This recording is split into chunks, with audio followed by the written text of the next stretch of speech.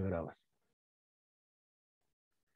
Bueno, entonces, eh, para dar nuevamente la cordial bienvenida en esta segunda cohorte del Club Virtual de Lecturas Filosóficas, después del trabajo tan, enriquecedor, tan dinámico, eh, por parte de todos los asistentes en, el semestre pasado, mm, saben pues cómo, cuál es la dinámica de trabajo, una primera intervención por parte de todos para identificar o reconocer expectativas, mm, con qué ideas venimos, con qué pretensiones, qué queremos, eh, mm, digamos que construir en este espacio de interacción.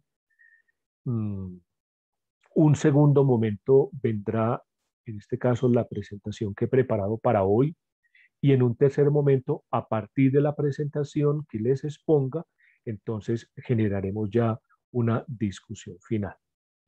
Eh, como les decía, para la próxima sesión, para el 11 de septiembre, alguien que, haga, que se haga cargo de la presentación, yo ahorita les paso el enlace donde pueden descargar la, la PPT para que eh, la elaboren en, presentación o en un documento en Word también lo pueden hacer tranquilamente. Entonces, para que eh, de pronto en el chat, quien se quiera postular como, como relator para la próxima, para la próxima sesión. Entonces voy a silenciar el micrófono.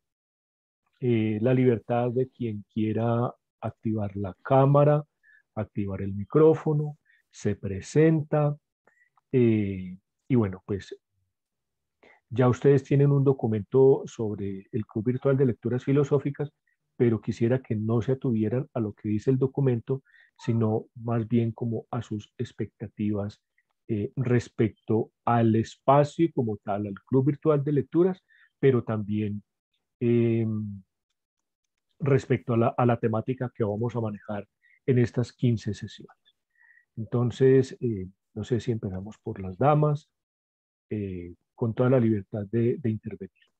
Adelante, por favor. Buenos días. Buenos días para todos. Soy Ana María Trejos, eh, ingeniera de sistemas.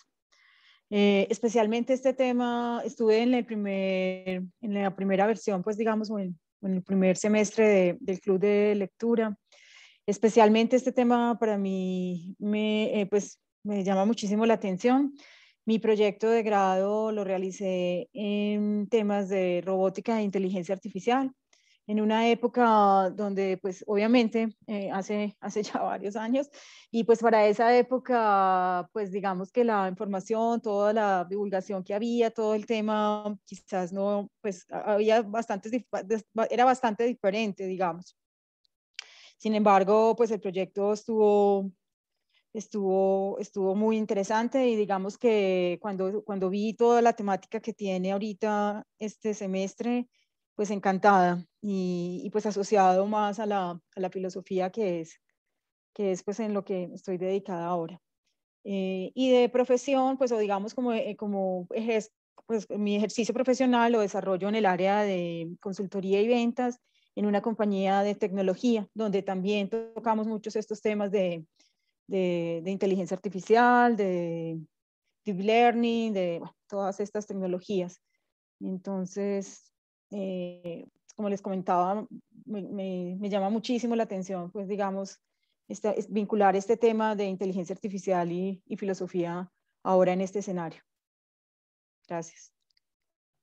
Muchas gracias, Ana María. Eh, por mi parte, pues encantado que eh, además de Javier Salinas, que también es ingeniero, en tu caso, o sea, que, que exista un, una persona experta con formación en ingeniería para que pues también eh, provea esa lectura desde, desde esa disciplina. ¿Quién más desea continuar con la presentación?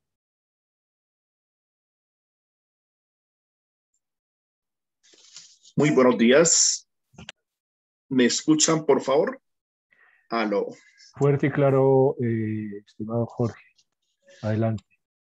Muchas gracias a usted, profesor Einar Monroy y a toda la comunidad académica que nos acompaña en este inquietante tema como es precisamente eh, eh, las perspectivas de la tecnología que además eh, se observa cómo ha avanzado vertiginosamente en los últimos 50 años, pero especialmente en este siglo, que está ya al alcance de todo el mundo. Se sabe, por ejemplo, que el, el computador que colocó al hombre en la luna era más grande que de una pieza normal. Eh, hoy en día, el potencial que tenemos a través de esos dispositivos es 10 veces mayor como para ir más allá de la luna. Y así efectivamente algunos países privilegiados pues han desarrollado esta tecnología y no se diga la nanotecnología que cada vez es más en micro eh, que podemos tener eh, eh, cosas de realidades inimaginadas en el siglo pasado, digamos, pero que ya ve cómo nos trae estas nuevas tecnologías.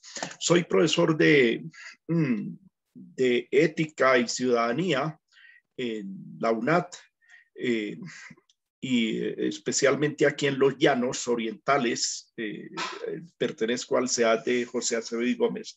Soy filósofo, pero también me inquieta, como todo el mundo, estas cuestiones de cómo eh, los avances, la innovación mm, y que está hoy en día al alcance de la gran mayoría, que de alguna manera la tecnología nos ha democratizado los, el conocimiento, el aprendizaje Hoy en día prácticamente eh, se observa como hay mucho que aprender gracias a estos big datas, grandes eh, acumulaciones de conocimientos y que están alrededor del mundo. Basta tener ya una terminal de, para bajar eh, esa información que está circulando por grandes autopistas alrededor del mundo.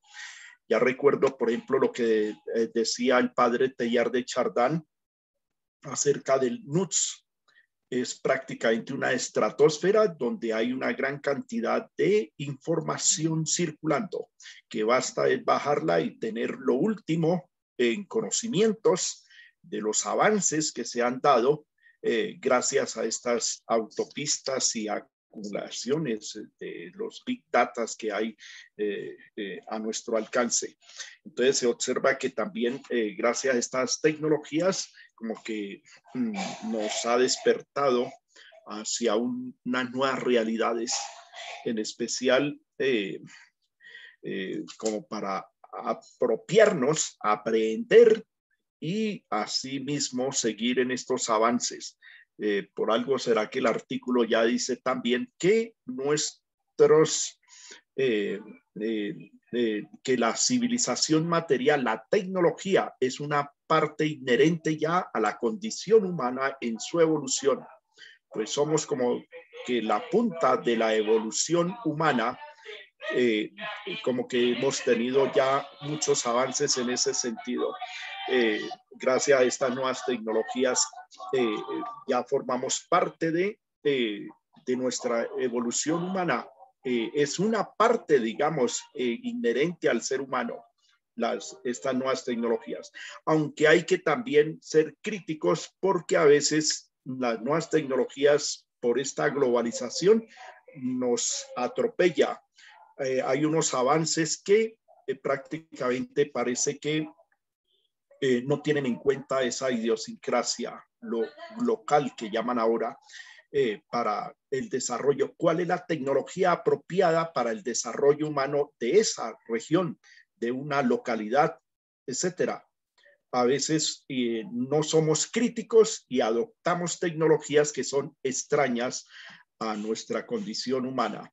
Pero ahí está precisamente estos espacios académicos como para llegar a tener criterios, a aprender de las experiencias eh, de las regiones, especialmente para que precisamente nuestras tecnologías no nos atropellen. Muchas gracias a ustedes, comunidad académica. Buenos días. Buenos días a todos. Buenos días, Kenny, adelante. Buenos días, pues mi nombre es Kenny Peña, mm, resido aquí en la calurosa Cúcuta. Eh, muy bonito día hace hoy aquí en Cúcuta.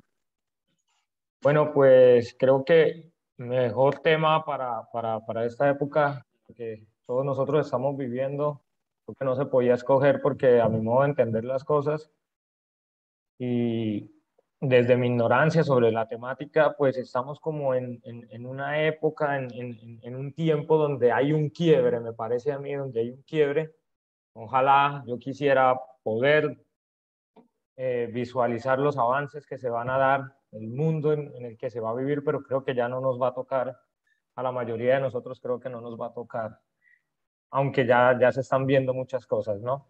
Pero sí creo que estamos en un tiempo donde a mi modo de entender el arte, entendida el arte como el cine, por ejemplo, eh, nos está como preparando, nos está como preparando porque cada día veo que las series, las películas que salen, tienen mucho que ver con esta temática y con cosas que, como decía el, compañero anterior, eran inimaginables, ¿no? Eran inimaginables. Eh, creo que se vienen unos tiempos bastante convulsos porque esto creo yo que como toda revolución también va a tener una problemática. Creo que de la mano de la inteligencia artificial también está la transhumanización y esto pues ya supone bastantes dilemas a nivel de la ética, pero creo que ya es inminente y, estos debates, estas discusiones creo que ya se están dando a nivel mundial porque también entendería yo que ya hay muchos avances de los cuales pues nosotros no sabemos. Entonces pues me parece que la temática para este semestre va a ser muy, muy, muy, muy positiva y a la vez pues tengo muchas expectativas por, por esta nueva oportunidad. Muchísimas gracias a todos. ¿Qué tal a todos? Buenos días. Me confirman si me escuchan. Gracias, Kenny. Pues un gusto para todos. Para quienes no me conocen, mi nombre es Edwin Tamayo, estudiante de filosofía, voy alrededor del octavo semestre. Este tema me apasiona profundamente, yo soy programador, actualmente trabajo en la línea de Oracle 12C. Bueno, el tema me pareció sumamente importante desde que leí la guía porque hice como una línea de tiempo muy filosófica en cuanto a la relación de la inteligencia artificial como un sujeto y esto lo arranqué como desde Protágoras con el homo mensura, el hombre es la medida de todas las cosas en cuanto que son y en cuanto que no son. Luego, eh, de alguna manera, caí, digamos que Nietzsche, cuando va a la Galla Ciencia y dice Dios ha muerto, pero luego sale Foucault y dice que el hombre es el que ha muerto y tiene que reaparecer posteriormente como un entorno del lenguaje. Y creo que cada vez más el sujeto muere en cuanto a la tecnología avanza. Y hay un punto importante que se va a tocar ahí, creo que es Hockey, este filósofo, que él habla acerca del límite de la, de la inteligencia artificial. Él asegura que tiene un límite, yo también lo creo, todo, toda acción producida por el hombre, toda producción del hombre tiene un límite en cuanto se piensa y en cuanto se limita a sí misma como producción. Y nada, encantado de estar otra vez aquí, espero aportar un poco en estos, en estos espacios de, tertulia de cierta forma y, y nada, esperamos que, que podamos entre todos formar un poco más de conocimiento acerca de este tema que realmente es apasionante y muy novedoso porque he notado de algunos compañeros de filosofía de otras universidades que se están desempeñando más allá de la academia. Y esto está dando una vuelta muy, muy importante porque ya el filósofo no es el filósofo que sale a dar clases y a formar nuevos, sino que es el que está como en el marketing, en las macro tendencias, está analizando otras formas del sujeto y que es justamente lo que analiza porque analiza conforme el mismo sujeto deja, digamos, algunas evidencias, sus huellas a través de su forma de usar la tecnología y de, y de entenderse con ella. Nada, un saludo especial para todos. Muchas gracias, mi hermano. Eh, gracias, Kenny. Juan Sebastián había levantado la mano. Adelante, por favor. Cordial saludo, apreciados compañeros. Soy Juan Sebastián Delgadillo y respecto al material trabajado en esta unidad se puede decir que eh, con el auge de, de los microprocesadores, de esas cadenas gigantes que, que fabrican microconductores, nos vemos cada vez más cerca de obtener una inteligencia artificial que pueda que puedan eh, separar al hombre de unas funciones que le eran algo inherentes, algo, eh, algo naturales. Se, han hecho experimentos en los cuales una inteligencia artificial logra crear algo que un humano puede hacer como lo es una obra de arte. Ya quedará a interpretación propia qué utilidad comunicativa, qué intencionalidad eh, se tiene bajo, bajo la obra o bajo eh, la ilustración realizada, pero la cuestión es, con la inteligencia artificial, definir qué es lo que nos separa de las máquinas. En mi opinión, una máquina, una inteligencia artificial es reflejo de, de la condición humana, reflejo al fin y al cabo de sus creadores. Y en ese concepto habría que empezar a ver si una máquina puede aprender por sí misma, puede procesar datos e inferir información al respecto, si puede reemplazar, digamos, a un médico, eh, cuál vendría siendo el telos eh, de los futuros humanos, cuál vendría siendo eh, la función y su forma de vida. A mi parecer, esta pregunta más antropológica y más social es una de las principales que se debería hacer respecto a la inteligencia artificial. Les agradezco. Muchas gracias, Juan Sebastián, a vos también por tu asistencia, y, interés y contribución. Adelante, Brian. Eh, Brian, por favor. Eh, muy buenos días para todos. Para los que no estuvieron en, en la cohorte pasada del Club de Lecturas. Mi nombre es Brian Steven Duque, ejerzo profesionalmente como abogado, soy del Valle del Cauca, mm, tengo 24 años, actualmente soy estudiante de filosofía, mm, estoy cursando la tercera matrícula, no me, todavía no me ajusto muy bien a la, a la clasificación de semestre, año, periodo de acá de la universidad, pero el hecho es que llevo tres matrículas. Mm, el club de lecturas, pues como habrán visto en la descripción metodológica que hace el profesor Einar en la invitación y todo, es un espacio muy enriquecedor. Los que tuvimos la fortuna de comparecer a la primera corte, vimos lo significativo que fue compartir los conocimientos del, del director del club, tanto como de los compañeros, que cada sesión fue magnífica. Mm, para esta corte, el tema de la inteligencia artificial es realmente interesante y por eso nuevamente estoy acá con todo el ánimo. Mm, desde mi ejercicio profesional me interesa mucho la inteligencia artificial porque aunque uno pensara que el derecho, la abogacía está alejada de temas de tecnología y todo esto y que todo se reduce a los razonamientos que hagan los humanos, eh, la justicia personificada en el juez, en el fiscal, etcétera. Lo cierto es que los avances actuales tienden a empezar a hacer juicios o empezar a hacer sustituciones de los razonamientos en materia de pruebas y en verificación de la comisión de algunas conductas por parte de mm, mecanismos o programas de inteligencia artificial. Es, la inteligencia artificial es una preocupación muy actual en el derecho y un tema que a mí particularmente me ha interesado, mm, alejado de todos esos procesos de automatizar tareas, de imprimir celeridad, economía a los procesos, que obviamente es magnífico por la capacidad casi ilimitada de almacenamiento de datos, de optimización de la información y todo que tiene la inteligencia artificial, es la producción de postulados tenidos como verdad para tener en cuenta en la decisión judicial. Es la, la generación o determinación de la verdad a través de la, de la máquina, a través del dispositivo de inteligencia artificial. A mí realmente ese es el tema que más me apasiona para esta cohorte en la medida en que me preocupa mucho que la verdad la concibo como algo, como un concepto multiforme en la medida en que tenga un contacto con la subjetividad y con la persona determinada que la analice y la inteligencia artificial, por más datos, por más datos que almacene, atiende al criterio de un programador que puede tener sesgos de diferentes índoles que se pueden traducir en, un, en una verdad estática, en una verdad que no, no se ajuste a diferentes realidades. Entonces, ese tema me preocupa bastante y quiero poder aportar desde la multidisciplinariedad que encontramos en este ese club de lectura, las, los aportes que se puedan hacer desde esta orilla y la filosofía que es el punto común a todos. Muchas gracias. Muchas gracias, eh, Brian. ¿Quién más ha levantado la mano? Eh, Jorge Eliezer y Giorgio.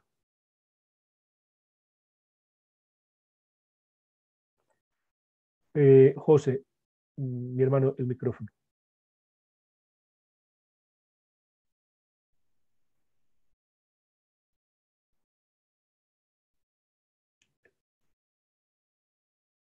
No, no lo escuchamos.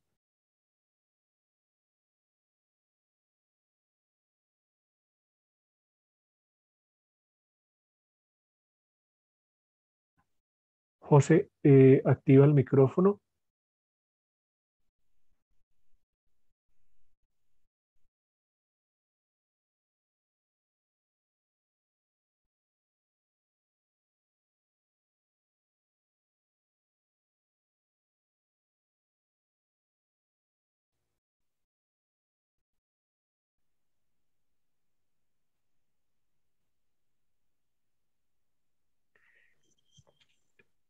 José Eliezer, eh, la forma de activar el micrófono es eh, en el mismo icono donde está el micrófono, picas allí, en este momento lo tienes desactivado.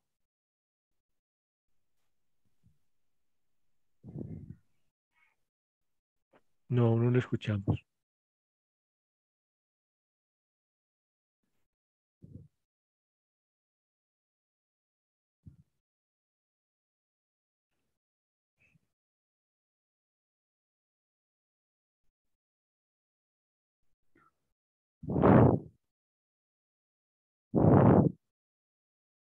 Bueno, mientras que el compañero José eh, soluciona el asunto del micro, adelante, Giorgio, por favor.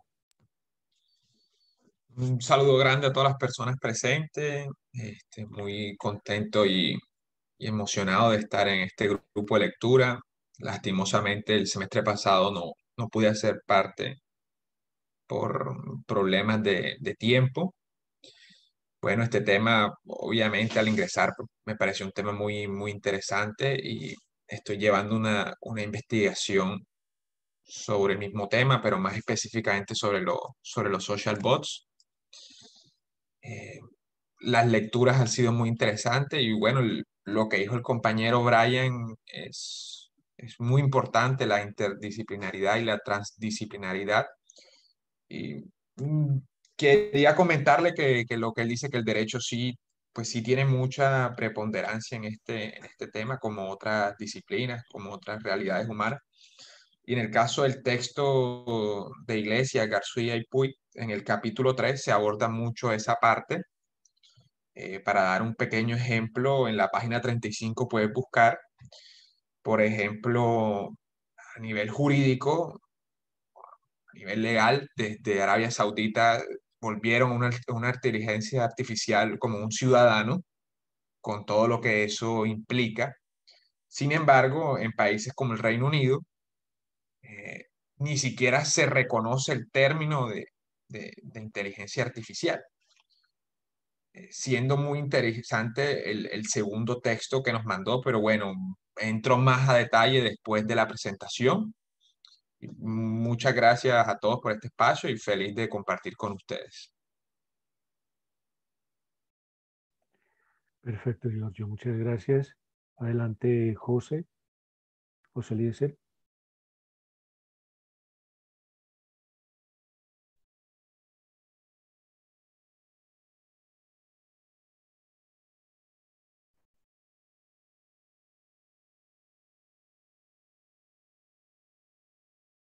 Ahora sí, creo que ya activaste el micrófono. Habla, por favor.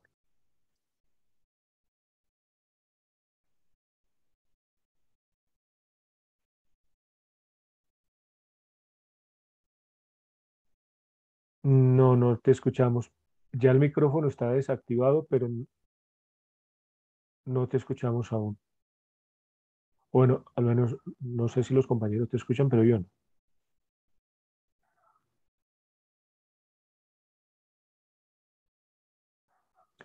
José, no sé si de pronto tendrás bien configurado el audio. Te eh, sugiero que te retires de la sala e ingreses nuevamente picando eh, el, enlace y yo con mucho gusto te doy, acceso y, para que se active todo el... Porque ya desactivaste el micrófono, pero no te alcanzamos a escuchar.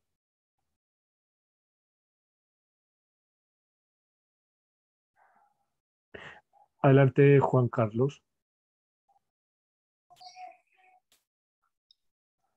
cordial saludo. Mi nombre es Juan Carlos García Bustos. Estoy finalizando estudios de filosofía en la UNAD. Soy ingeniero civil de la Universidad del Cauca. Sobre la introducción al, a este diálogo, me, interesa más el formato del Club de, Lecturas Virtuales Filosóficas y me interesa menos y, y diciendo creo que sobre todo lo que han dicho los compañeros, no, encuentro ningún interés en la inteligencia artificial como tal. Y pues estoy a la expectativa que sobre qué tan filosófico va a ser la va a ser el diálogo sobre la inteligencia artificial. No, no, o sea, no, no es mi interés ni la sociología, ni la psicología, ni, ni la ni la política de la inteligencia artificial, sino pues como el curso, como la propuesta lo dice, es una filosofía de la inteligencia artificial entendida en, como, como, el genitivo objetivo, ¿no? O sea, la, filosofía sobre la inteligencia artificial y no la filosofía o su, o su modo de ser ahora de la inteligencia artificial. Entonces estoy a la expectativa pues que, que, sea una discusión verdaderamente filosófica. Yo leí la justificación.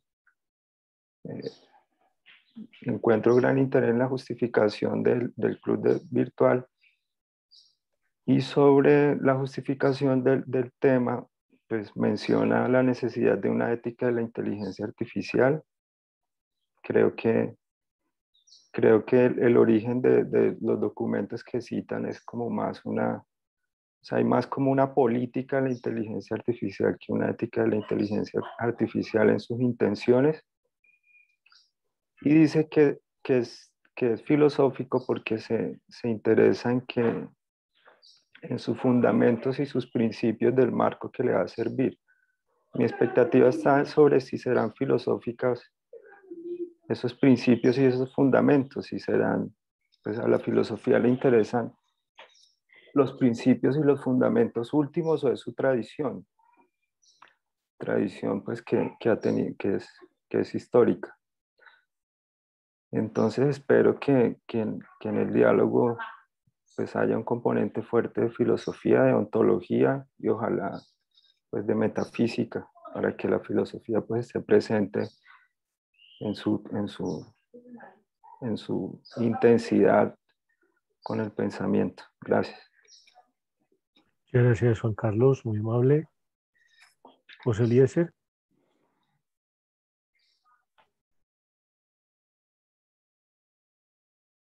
Activa nuevamente el micrófono, por favor.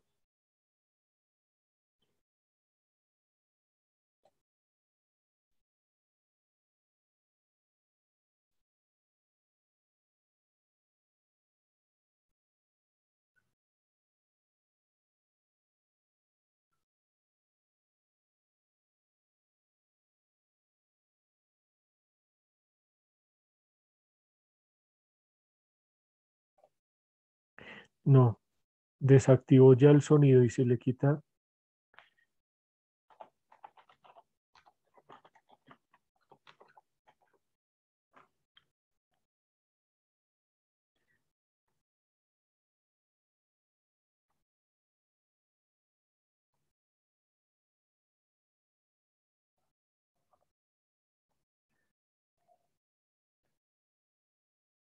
Creo que así no ni siquiera nos puede escuchar.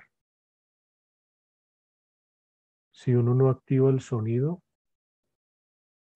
en el equipo, pues obviamente no puede eh, escuchar, mucho, mucho menos hablar.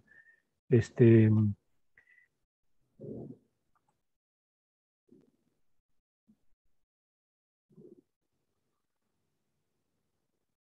Javier.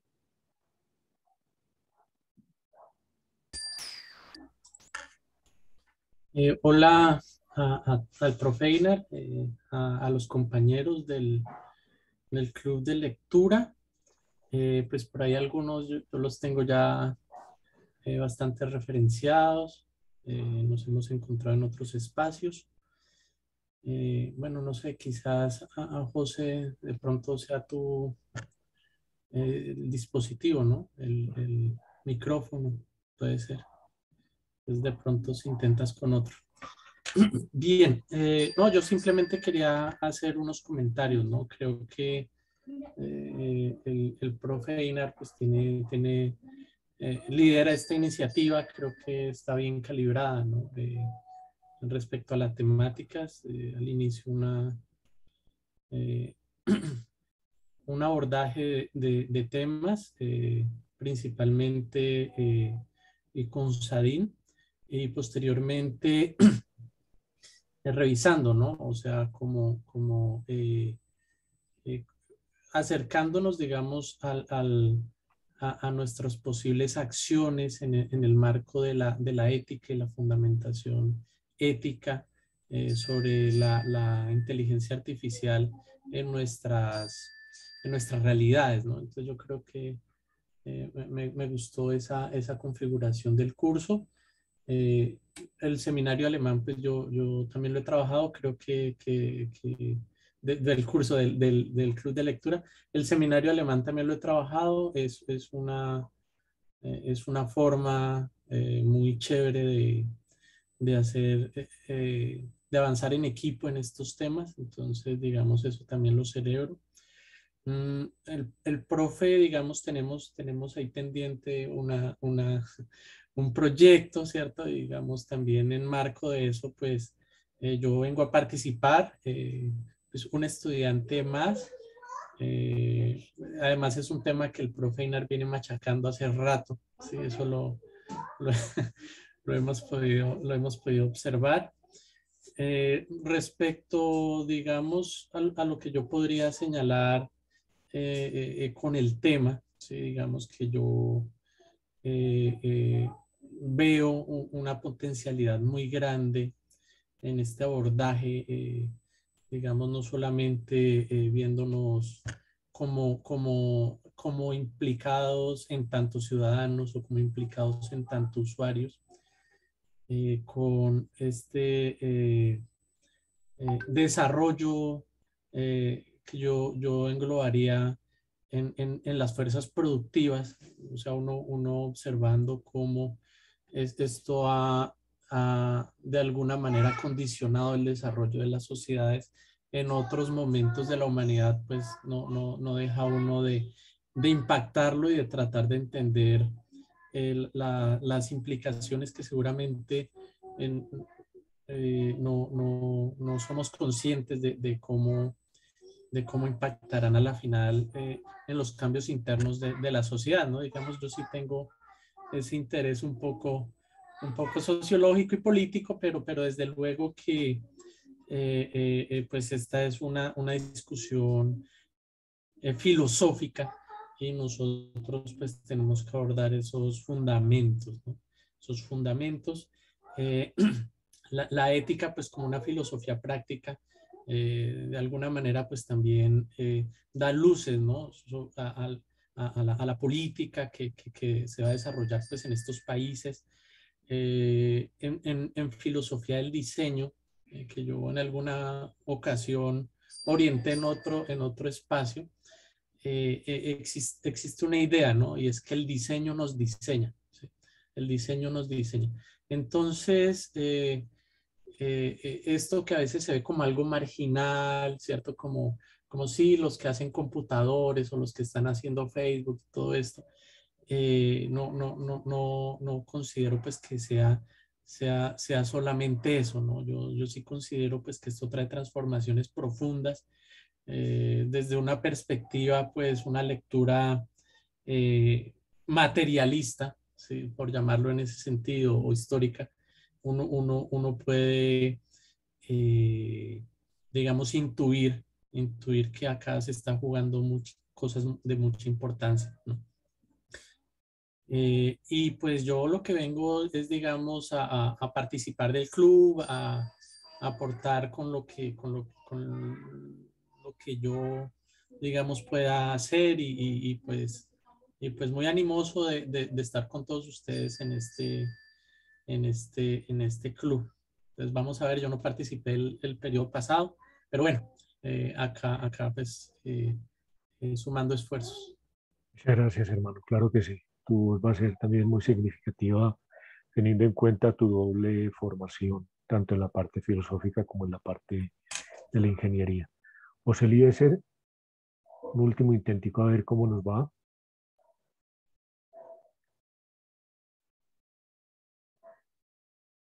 Nada, hermano. Veo tu micrófono activado, pero realmente eh, presumimos que es un problema de tu, de tu dispositivo tienes, tienes manos libres, eh, estás frente, si estás frente a un computador, quita el mano libre a ver cómo se, si, si tal vez se, se puede escuchar más bien directamente.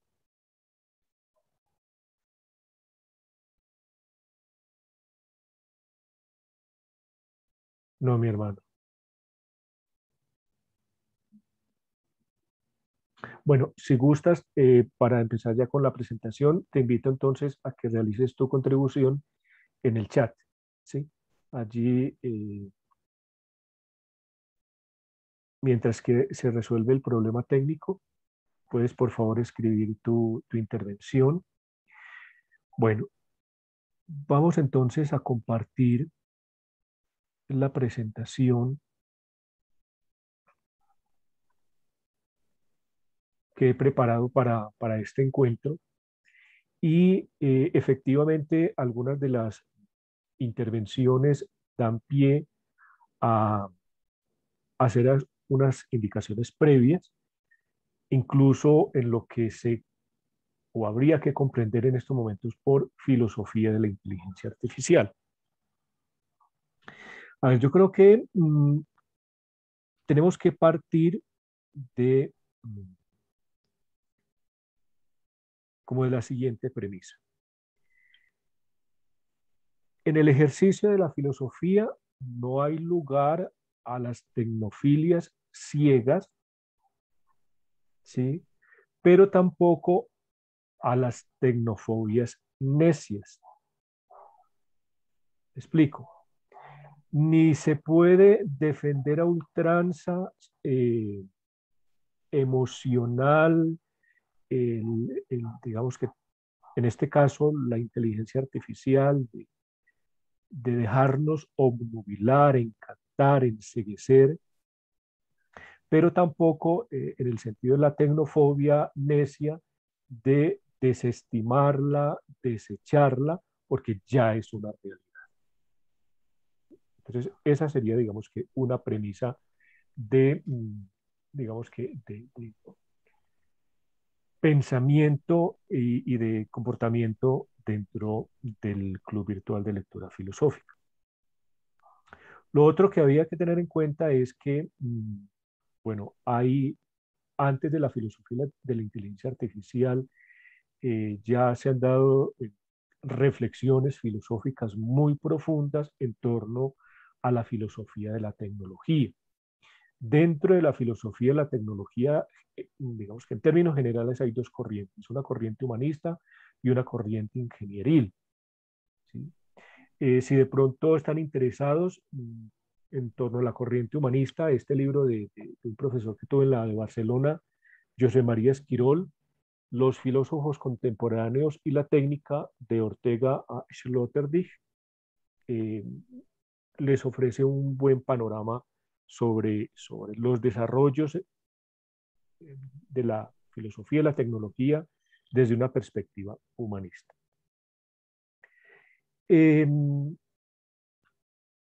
cuando hablamos de filosofía de la inteligencia artificial, estamos hablando de, podríamos considerar sinónimo de filosofía, crítica, crítica de la inteligencia artificial. Y esa crítica no es, em, insisto, en este caso no rayaría con la tecnofobia.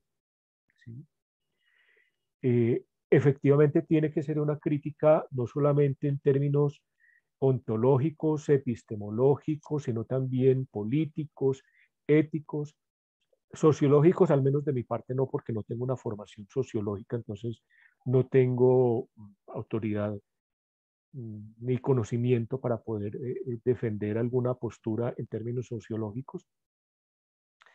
Quizá crítica en el sentido más kantiano del término, reconociendo las condiciones, los alcances, los límites. Regularmente creemos que crítica es eh, nada vale, que crítica hace referencia a una cierta anarquía de desechar eh, sin ningún fundamento alguna, alguna posición. Entonces, insisto, filosofía de la inteligencia artificial, entenderla como crítica de la inteligencia artificial y esa crítica en el sentido más kantiano posible del término. La, la otra idea que tendríamos que empezar a ir madurando a lo largo de este espacio es precisamente, quizá desde una perspectiva fenomenológica, suspender poner entre paréntesis, hacer epogé respecto a la forma como Hollywood ha presentado la inteligencia artificial. Es decir, nosotros aquí no vamos a hablar de Terminator, no vamos a hablar de em, Ex Máquina o Ex Machina. Son películas muy em, interesantes, son muy sugestivas, pero nosotros no vamos a hacer un análisis de cómo Hollywood está representando la inteligencia artificial. Ese no es nuestro propósito. ¿Sí? Entonces, eh, puede ser muy ilustrativo y todo, pero vamos a suspender, vamos a desconectar el relato hollywoodesco de la inteligencia artificial. Y efectivamente, pues tenemos que tener en cuenta una distinción de los términos. En eso ah, Platón sigue siendo muy vigente. Uno no puede comprender un fenómeno si no hace una división, ¿sí? si no hace un análisis eh, eh, conceptual, pero también eh, histórico. Siguiendo, siguiendo este, mm, este referente de Amy Webb de los nueve gigantes, pues hice una, una construcción histórica de la inteligencia artificial. Eh, además de las referencias que les compartí en el documento, eh, bueno, por parte de Eric Sadat también mm, que lo vamos a trabajar a partir de la próxima sesión. Él tiene un, libro muy bueno que se llama La silicolonización del mundo, la irresistible expansión del liberalismo digital, la humanidad aumentada, la administración digital del mundo, el partes, capítulos que vamos a trabajar de Eric Sadan sobre la inteligencia artificial o el desafío del siglo, anatomía de un antihumanismo radical y finalmente, este libro de Juk Hui, Fragmentar el futuro, ensayos de tecnodiversidad, un filósofo que también es ingeniero. Entonces, mm, como teniendo en mente como esa bibliografía mucho más actualizada de lo que nos permitiría a nosotros eh, ir haciendo una idea de lo que podría ser eh, el análisis, la crítica, la filosofía de la inteligencia artificial. Esta, mm, esta Amy nos envía la historia de la inteligencia artificial a la Grecia clásica, específicamente con Sócrates, Aristóteles y Euclides. De Sócrates eh, cita la, la, máxima de conócete a ti mismo. Eh, allí se advierte en el conócete una cuestión eh, puramente epistemológica, a ti mismo una cuestión subjetiva, una cuestión de conciencia, una cuestión de reconocimiento, de un proceso de interiorización, de reflexión. En la lógica de Aristóteles encuentra eh, también unos postulados muy incipientes. Obviamente hay que decir que no se puede caer en anacronismos, pretender decir que eh, pretender decir que eh, estamos, estamos eh, observando en Aristóteles o en Euclides una primera formulación de los algoritmos, eso sería un anacronismo.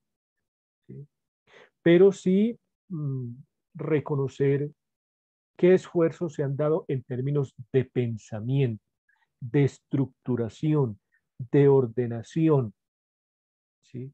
de los procesos de pensamiento. Y ahí sí es lícito decir que pues obviamente en la lógica de Aristóteles eh, hay una apuesta muy decidida para organizar el asunto del pensamiento, lo mismo en Euclides en la forma de encontrar el máximo común divisor.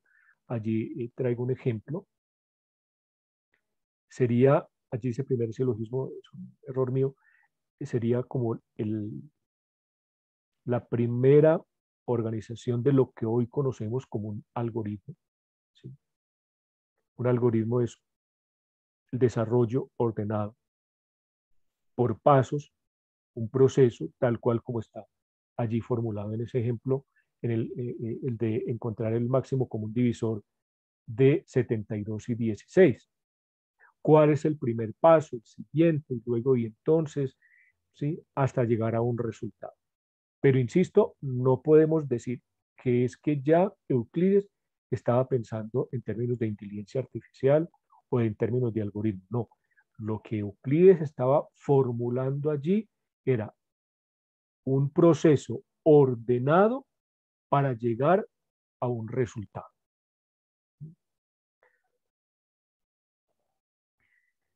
Luego eh, encontramos datos muy interesantes y miren cómo a partir de aquí que ya hay un, esfuerzo significativo por em, estas cuestiones que hoy veríamos mucho más desarrolladas en, androides como, como eh, Sofía.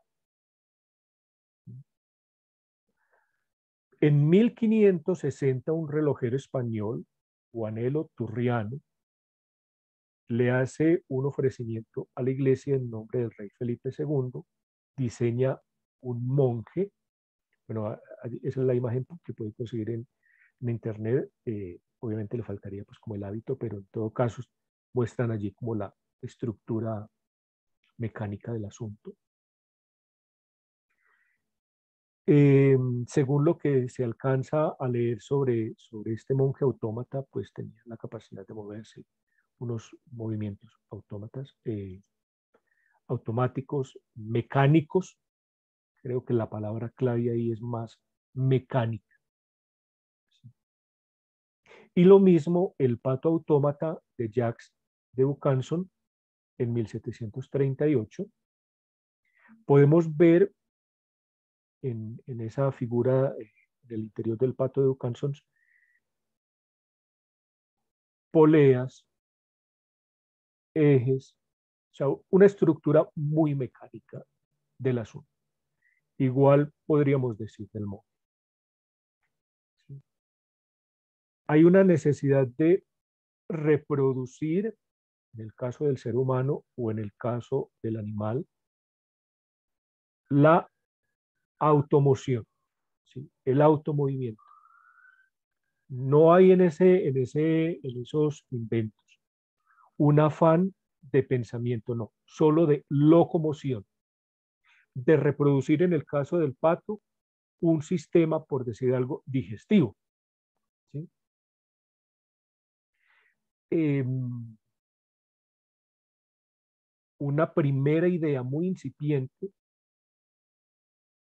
esa, esa postura, ese punto de partida antropomórfico también.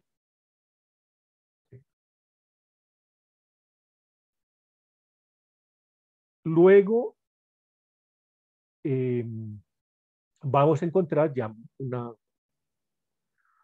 eh, un desarrollo mucho más elaborado en términos de una máquina diferencial analítica eh, por parte de Ada Lovelace y Charles Babbage, donde usaban unos pasos establecidos para resolver problemas matemáticos. Miren que eh, pervive la idea de pasos ordenados para lograr unos resultados determinados.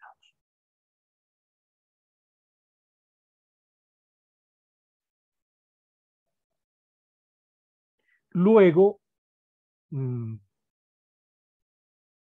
encontramos también un aporte significativo al desarrollo de la inteligencia artificial sin que en ese momento se hubiese acuñado siquiera la palabra algoritmo, mucho menos eh, inteligencia artificial.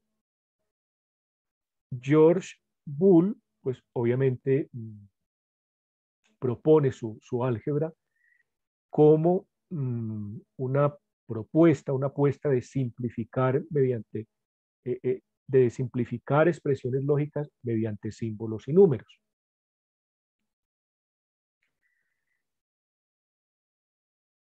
Claude Shannon retoma la eh, álgebra booleana y la mapea en circuitos físicos y crea un circuito funcional que permitiera añadir eh, unos y ceros. Encontramos allí una, representación muy incipiente, muy básica de la propuesta. Y de, esta contribución de Claude Shannon podemos advertir que em, distingue o mm, establece, digamos que es esa, esa distinción Em, en los ordenadores en sus dos componentes, el físico y el lógico, ¿sí? el contenedor y el código.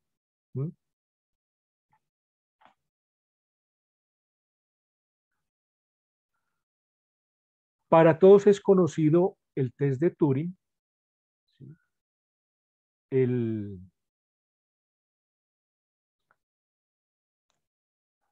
Por parte de Turing mm, hay una, propuesta muy interesante y es el modelo matemático computacional o máquina universal. Continúa la idea de que eh, un programa y los datos mm, pueden ser almacenados en un ordenador. Es decir, ya se empieza a pensar en programas, en datos y en ordenador.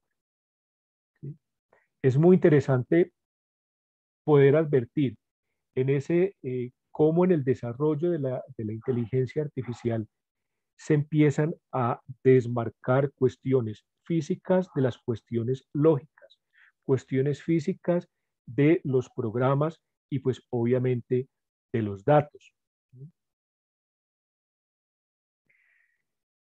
En 1939, la compañía Westinghouse desarrolla en sentido estricto un ordenador antropomorfizado que tomaba decisiones rudimentarias y sin participación directa de un humano. Allí vemos eh, a dicho robot Electro. De aquí podemos destacar dos cosas. El afán de tomar decisiones y esas decisiones desmarcadas de intervención humana. No tanto, digamos que si es muy rudimentario el,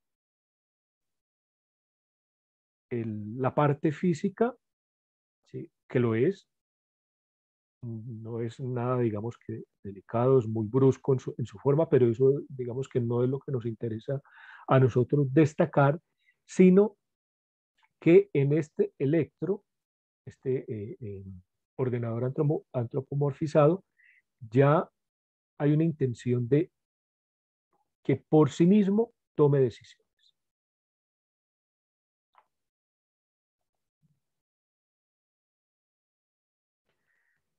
Dentro, digamos que de esa historia que uno encuentra en los libros de filosofía de la inteligencia artificial, pues eh, es lugar común traer a colación las leyes de la robótica propuestas por Isaac Asimov. Un robot no puede dañar a un ser humano o por inacción permitir que un ser humano sufra daños, es decir, ni lo puede atacar y en caso tal de que vea que eh, un ser humano está en peligro, tampoco se puede quedar quieto, sino que en todo caso debe eh, propender por la defensa de su integridad, de la vida del, humano. La vida humana por encima de, eh, digamos que la misma mm, ordenación o estructura del, del, robot. ¿sí? Por más programas que tenga de eh, autonomía, mm, esa autonomía del, del robot no podría estar por encima de la integridad humana. Un robot debe obedecer las órdenes que le den los seres humanos, excepto cuando tales órdenes entren en conflicto con la primera ley. Miren que hay una lógica de no contradicción entre las, entre las eh, eh, leyes.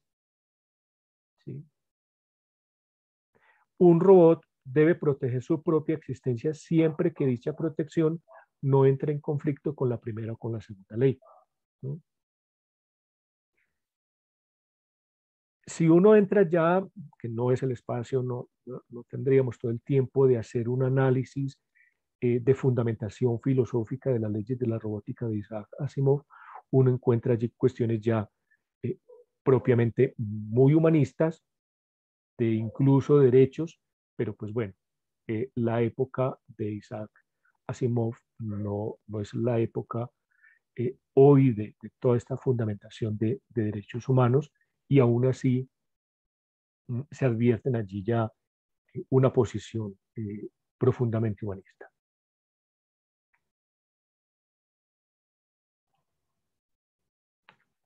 Creo que uno de los hitos de la inteligencia artificial es precisamente eh, a partir de, Warren McCulloch y Walter Pitts con el diseño, con la propuesta de una arquitectura neural de redes. Eh, en, esa, en esa simplicidad de, de arquitectura neural de redes encontramos entradas, una caja negra, donde dice oculto y salida. Una información, un proceso y un resultado. Estos em, personajes modelizaron las neuronas biológicas, es decir, tomaron como ejemplo las neuronas biológicas y eh, a partir de allí hicieron un diseño de lo que podría ser una arquitectura neural de redes para la inteligencia. Son, son pequeños pasos, pequeños eh, impulsos, pequeños avances.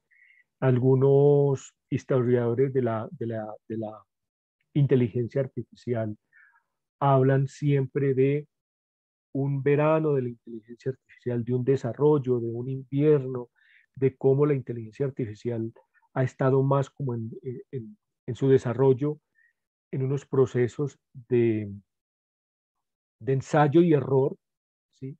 pero en todo caso creo que no se puede perder de vista cómo, cómo hay un, unas apuestas muy incipientes, pero que gracias a esas apuestas, pues efectivamente van teniendo eh, un, desarrollo posterior. En, como parte de la inteligencia, de la historia de la inteligencia artificial, tenemos la teoría de juegos y la ENIAC, la, computadora, que como decía ahora un compañero, prácticamente ocupaba toda una habitación. Eh, John von Neumann y Oscar Borgestern en 1944 pues hablan de la teoría de juegos como fundamento de las decisiones económicas, por un lado, y por el otro, eh, pensar en la ENIAC como eh, ese depósito que no solamente era una cuestión de, cables, de circuitos, sino también de integrar en él mismo, en el contenedor mismo, programas.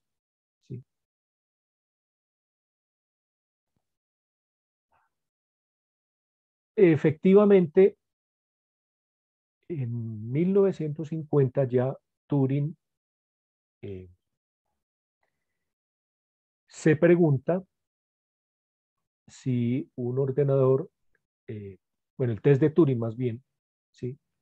que consiste en si un ordenador responde una pregunta de un modo tal que no pueda distinguirse de la de un ser humano. Eh, esa prueba pues está representada allí, como vemos, una persona formula una pregunta. esa pregunta, pues, si eh, la respuesta a mi pregunta de una u otra fuente no tiene ninguna diferencia fundamental, ¿sí? Allí podría hablarse de pensamiento. Cuando yo no tengo, ante la, ante la pregunta que hice, la respuesta que recibo, no puedo distinguir quién de los que me está respondiendo es máquina o es un ser humano, pues esa, esa similitud, esa cercanía eh, en los términos de la respuesta me, me permitiría a mí conjeturar que efectivamente eh, la máquina estaría pensando en el mismo nivel del ser humano. Ahora, ya en términos muy filosóficos, la pregunta radical es si pueden pensar las máquinas. Ahora, para responder a esa pregunta de si pueden responder las máquinas, entonces, antes de responder esa pregunta, primero hay que preguntarse qué significa pensar y qué significa máquina. ¿Mm? Ahora, esa pregunta de qué significa pensar, bueno, Heidegger desde la filosofía hace un desarrollo de esa pregunta. ¿Qué significa máquina? Podría ser una pregunta que eh, desde la filosofía la tecnología se, se ha abordado. Y uno podría decir, la pregunta de si pueden pensar las máquinas hoy en día ya no tendría ninguna razón de ser formulada porque para nadie es un secreto de que las máquinas piensan. Si por pensar se entiende el ejercicio de procesar información, procesar datos y generar resultados. Ahora, lo que, lo que uno desde un punto de vista crítico, filosófico, tendría que empezar a repensar no es si las máquinas piensan, sino si los seres humanos van a dejar de hacerlo realmente, a mi juicio, esa es la cuestión que más podría preocupar en un ejercicio de pensar, de hacer una crítica de la inteligencia artificial. No tanto si las máquinas piensan, si los seres humanos van a dejar de hacerlo. Eso sí sería gravoso. Eso sí sería preocupante. Ahora, aparte del test de Turing, en 1955, Minsky, McCarthy, Shannon y Rochester eh, tenían como la, la intuición, la conjetura de si es posible analizar, describir qué es lo que pasa en términos de proceso en el cerebro, si es posible, digamos que armar como toda la arquitectónica de todo el proceso de pensamiento, eh, a partir de allí ellos conjeturaban que sería posible enseñar a una máquina a simular, a imitar. Entonces, miren cómo pasamos del monje y pato autómatas, procesos mecánicos, a desarrollos que tienen que ver más con términos de eh, procesos lógicos, de proceso, de procesamiento, perdón, de información, ¿sí? y cómo llegamos al punto de considerar si las máquinas pueden pensar y pensar en el sentido de simular, reproducir los procesos mentales. Y precisamente en ese, en ese, en ese encuentro de estos, de estos eh, personajes que están allí, pues es donde propiamente se da el cuño de inteligencia artificial. Se acuña el concepto de inteligencia artificial y a partir de allí ya se empiezan como a realizar apuestas muy concretas sobre la conceptualización, el desarrollo de la inteligencia artificial.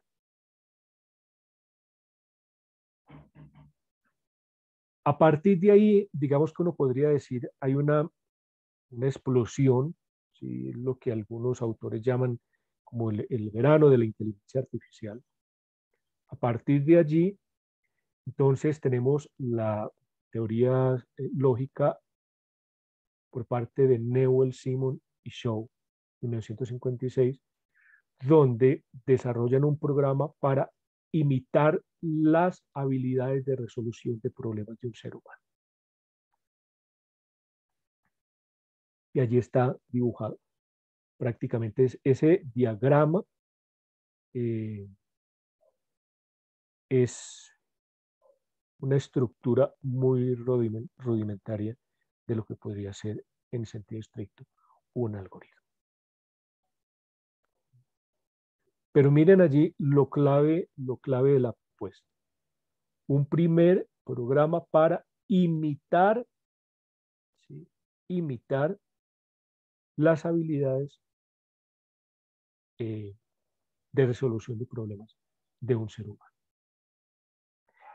La inteligencia artificial, bueno, de manera muy incipiente, nace como una reproducción mecánica, luego pasa a un ambiente más lógico, más de procesamiento de información, más de procesamiento de datos, de mm, reproducir, de imitar habilidades del pensamiento. Y lo que les decía, hay un dato muy interesante de esta autora respecto a las prácticas fundamentales de la inteligencia artificial, sobre todo a partir de ese, de ese desarrollo eh, que les he, les he mencionado en los años 50 del siglo pasado.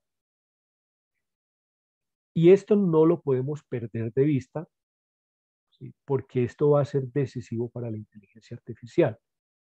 La teorización, construcción, testeo y avance de la inteligencia artificial a cargo de las grandes compañías de tecnología e investigadores académicos. ¿Por qué razón? Por eh, lo que supone en términos de inversión los desarrollos de la inteligencia artificial. La demanda de inversión supuso comercializar trabajo con agencias gubernamentales, con el ejército. Eh, de hecho, hay otras posturas también que, en sentido estricto ponen en, en, el ejército de, los Estados Unidos todo el, desarrollo de la inteligencia artificial, lo, lo que más se pudo avanzar. Y la investigación y construcción de la inteligencia artificial supuso un trabajo interdisciplinario y un nuevo campo académico desde cero.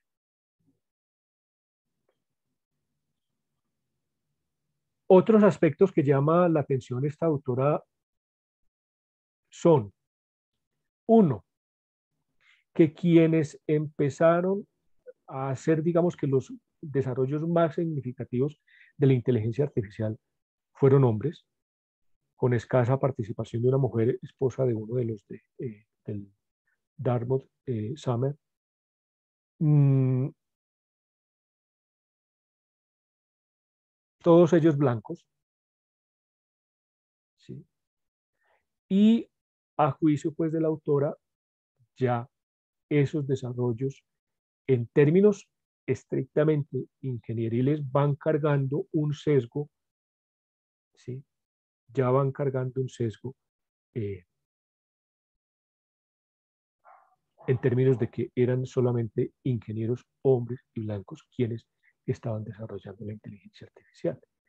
Que después, obviamente, mm, vemos, vemos en, en, muchos artículos en Internet como algunas, eh, sobre todo estos de reconocimiento facial, han cometido errores eh, a la hora de tipificar o de reconocer el esquema facial de algunas personas de color.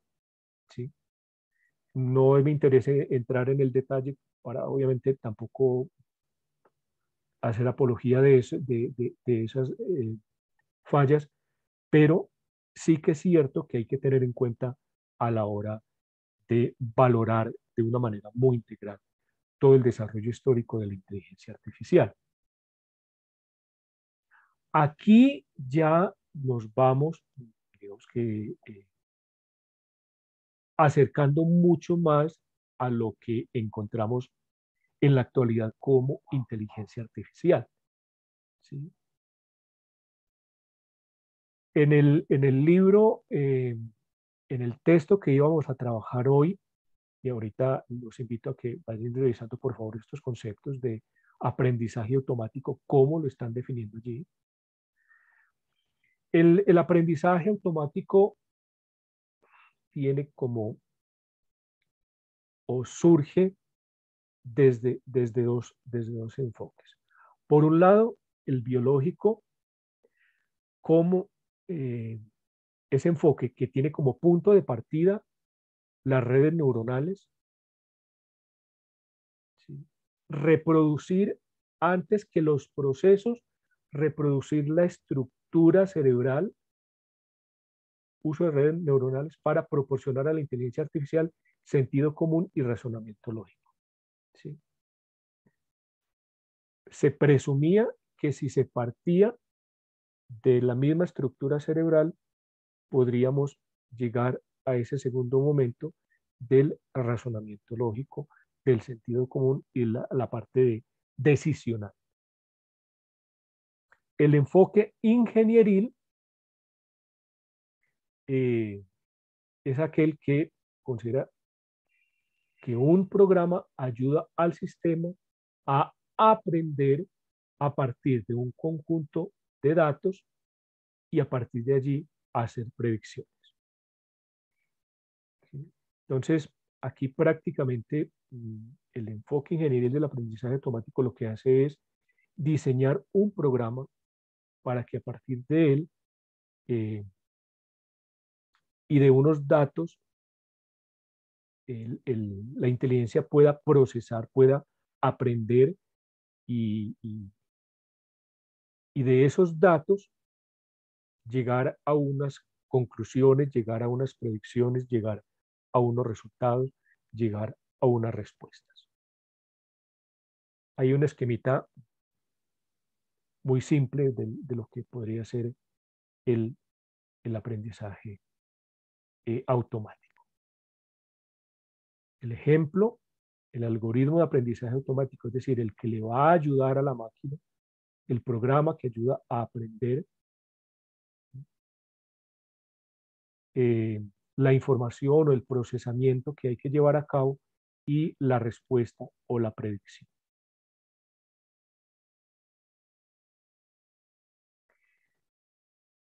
También tenemos el desarrollo de Perceptron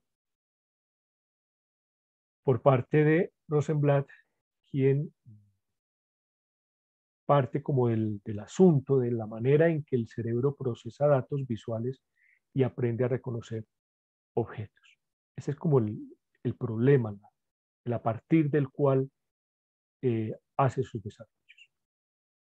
Preguntarse de qué manera el cerebro procesa datos visuales y aprende a reconocer objetos. Eh, el perceptron busca, digamos que mm, todos esos desarrollos eh, dentro de ese concepto de perceptron por parte de Rosenblatt, eh, busca un programa que responda al feedback y crea la primera red neuronal, artificial. ¿sí? Si bien se habían dado intentos de una arquitectura neuronal eh, por parte de Rosenblatt, es digamos que el primero en crear una red neuronal artificial. A partir de allí, el sistema optimiza su respuesta repitiendo las funciones recordando lo aprendido en cada una de ellas y aplicando ese conocimiento en futuros problemas. Creo que esta, esta idea es clave en ese desarrollo de la inteligencia artificial. Además, de las, además del contenedor, además del programa, además de los datos, ¿sí?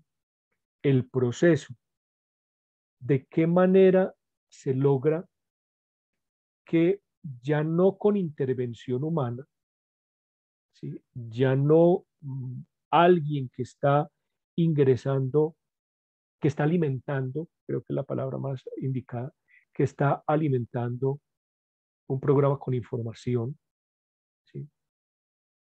sino que aquí ya hay una repetición a partir de, eso, de esa repetición hay una rememoración. Eh, eso hace que se pueda aplicar, eso hace que se pueda aplicar habiendo aprendido a partir de las repeticiones y guardando información en futuros escenarios similares posibles se, se pueda aplicar. Entonces, ahí es donde digamos que ya empezamos a encontrar, bueno, también hay que tener en cuenta que es eh, inteligencia artificial fuerte y, soft o, o blanda. ¿sí? Pero en todo caso, no perdamos de vista esto. Ya no es la automatización en términos de automoción, autolocomoción, ¿sí? como el monje o el pato, sino la mm, automatización en los procesos mismos de eh, repetir, recordar, aprender, aplicar.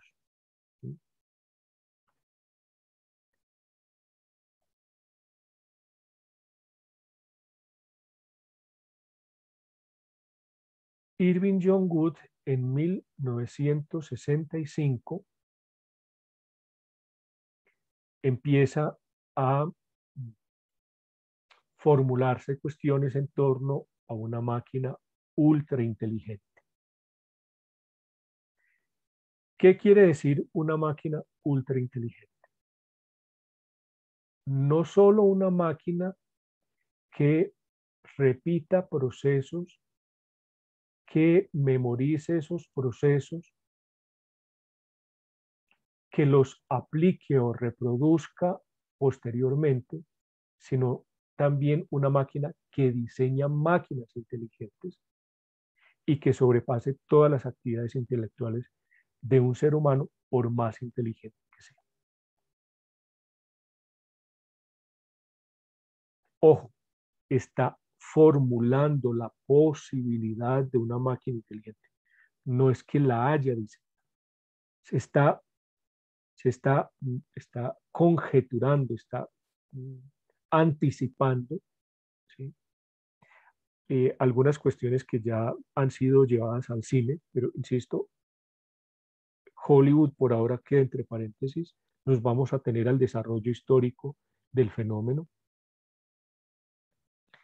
Eh, es lo que en la actualidad se habla de singularidad tecnológica o de inteligencia fuerte.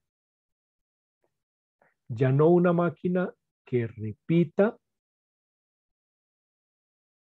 recuerde, procese y aplique, sino una máquina tan inteligente ella misma que diseñe máquinas inteligentes. Ya ni siquiera un ingeniero, sino una máquina misma la que sería encargada de diseñar máquinas inteligentes.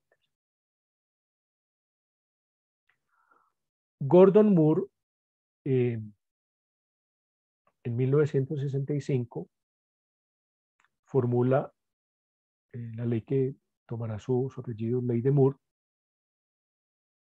Fundamentalmente, dicha ley se puede expresar en los siguientes términos. La cantidad de transistores en un microprocesador se puede duplicar cada dos años. Estos desarrollos, eh, a simple vista o para alguien que no tiene un conocimiento ingenieril, puede significar muy poco, pero la trascendencia que eso tiene en términos de desarrollo eh, puede ser bastante significativa, el alcance. Por un lado, podemos decir, los ordenadores ejecutaban innumerables tareas, ¿sí? ya no resolver solamente problemas matemáticos. Miremos la máquina analítica. Ya los, los, los ordenadores habían dado un paso más allá. Y eh, se cuestiona, se, se anticipa esa posibilidad de superar los poderes de la mente humana, eh, dado que pues, el cerebro eh, tiene una capacidad biológicamente muy limitada. Aquí ya, si antes en el desarrollo de la inteligencia artificial había una necesidad de asemejarse lo más posible al ser humano, no solamente en términos mecánicos, sino también en términos de redes neuronales, de eh, reproducir la arquitectura del cerebro, ya hay un momento en que, en que el desarrollo de la inteligencia artificial ve que el modelo perfecto de desarrollo de la inteligencia artificial no es siquiera el cerebro, porque biológicamente es, es limitado. Entonces, miren cómo en esos desarrollos de la inteligencia artificial, por un lado hay una necesidad o se empieza con el ánimo de imitar, de reproducir eh, eh, el proceso de aprendizaje del ser humano y después cómo hay, habiendo reconocido esas, limitaciones de tipo biológicas, también culturales, sociales, etcétera, cómo esos desarrollos de la inteligencia artificial se empiezan a desmarcar del ser humano. Eso es algo que no se puede perder de vista en esos desarrollos históricos de la inteligencia artificial. Luego tenemos ELISA por parte de Weissenbaum en 1966, un programa conversacional basado en lenguaje natural. Entonces miren cómo esos procesos van, van migrando de lo mecánico a lo lógico, de lo lógico a simbólico a lo natural, ¿sí? ese, ese movimiento, esos, esos movimientos que va marcando el desarrollo de la inteligencia artificial. Minsky, en 1967 ya, digamos que en términos eh, estrictos, se puede hablar de inteligencia artificial, porque este señor pues, dice que los autores podrían tener pensamiento complejo, expresión lingüística y capacidad decisional. Miren el año 1967. Y esto que este Minsky conjeturaba a esa altura, eh, frisando la segunda década del siglo pasado, eh, de la última eh,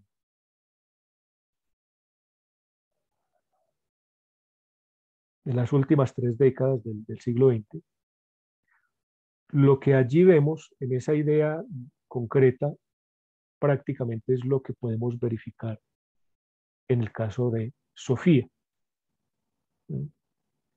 Es un contenedor, le ponen un rostro, pero mm, cuando uno empieza como a ver eh, todos esos eh, videos, todos los documentales, todas esas interacciones con, con, con Sofía, que a propósito pues, eh, eh, se le ha dado el estatuto de ciudadana, tiene esas, esas capacidades. Pensamiento complejo, expresión lingüística, incluso reconocer eh, ciertas expresiones mm, de la otra, de la otra persona, capacidad decisional, Obviamente, eh, digamos que Sofía todavía está muy en el nivel de, de, la información, depende mucho de la información que le, que le suministra. Como parte del desarrollo de la inteligencia artificial también tenemos lo que fue eh, un primer intento de traducción automática en el marco, en el contexto de la Guerra Fría, eh, obviamente los americanos y los estadounidenses querían un sistema de traducción instantánea del ruso, em, de tal manera que no tuviesen que depender de un traductor, eh, una persona, sino de, un sistema eh, como tal. Ya no de un traductor persona, sino de un sistema. Esto hace que el aprendizaje automático también cobre un desarrollo mucho más significativo de lo que hasta ese momento se suponía. Se sigue trabajando con la teoría de juegos, con las redes neuronales. Eh, entre 1994 perdón, y 2011 eh, hay un desarrollo precisamente de sistemas que permitían llevar a cabo juegos de alta complejidad. Mm, allí tenemos unos ejemplos. El, concurso de Jeopardy en, en, Estados Unidos, como, como estos sistemas, ¿sí? el Chinook, el Deep Blue, el Watson, mm, lograron eh, ganar partidas o programas en el caso del concurso, etcétera, etcétera, a partir de un procesamiento de grandes cantidades de información sin que dichos programas se estresaran. Entonces, si digamos que la, la inteligencia artificial se va desarrollando, pero a la vez va reconociendo cuáles son los límites que se va encontrando en su pretensión de reproducir la misma arquitectónica o la misma estructura mm, eh, biológica de un cerebro. Aquí vemos una ventaja de, de, de los desarrollos de la inteligencia artificial, es que encuentran que son programas que pueden procesar grandes cantidades de información sin que eso suponga que se estrese como sucede con el ser humano.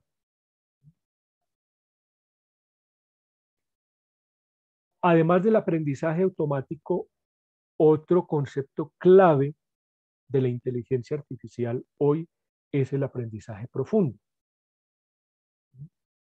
Hinton, LeCun y Benjo son quienes eh, dan con el aprendizaje profundo, allí hay una representación eh, en, el sentido tradicional del aprendizaje profundo y, perdón, del aprendizaje tradicional y del aprendizaje profundo. La parte superior de la gráfica vemos que hay una entrada de información que esa entrada de información depende de una persona que suministre a su vez en un computador eh, una, una información y eh, un resultado, una salida. En el aprendizaje profundo ya desaparece la, la persona que suministra esa información. ¿Mm?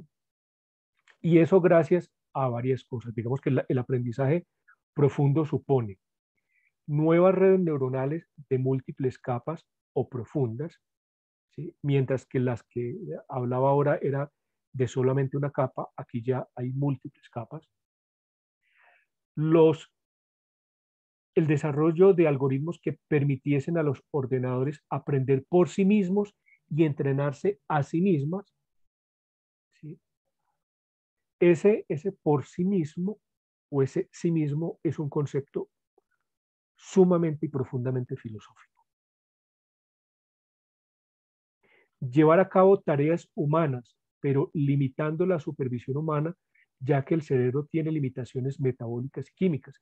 Miren cómo ya lo que antes se pretendía llegar, el cerebro humano era el modelo a lograr, ya aquí, insisto, hay una pretensión de desmarcarse de ese.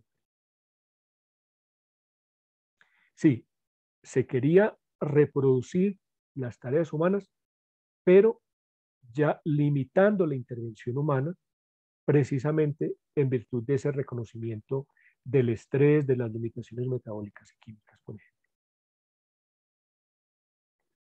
Y lo que digamos que más caracteriza al aprendizaje profundo es la capacidad para tomar decisiones, no solamente autónomos, sino de forma impredecible y pensar de manera impensada.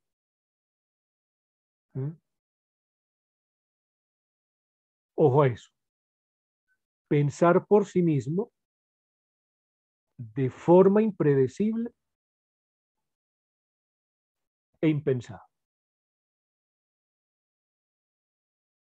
Ese, digamos que es una de las cuestiones que más caracteriza, mientras que el aprendizaje automático casi que era un proceso de aprendizaje por repetición y en el que se suponía la ayuda de un ser humano a suministrar datos, a suministrar información, en el aprendizaje profundo ya mm, la intervención humana se, disminuye al máximo, ya hay mayor autonomía, ya hay mayor posibilidad de anticipación. A ese, digamos que a ese nivel es lo que, lo que la mayoría de los ingenieros ha llegado a consensuar que estamos en el momento del desarrollo de la inteligencia artificial.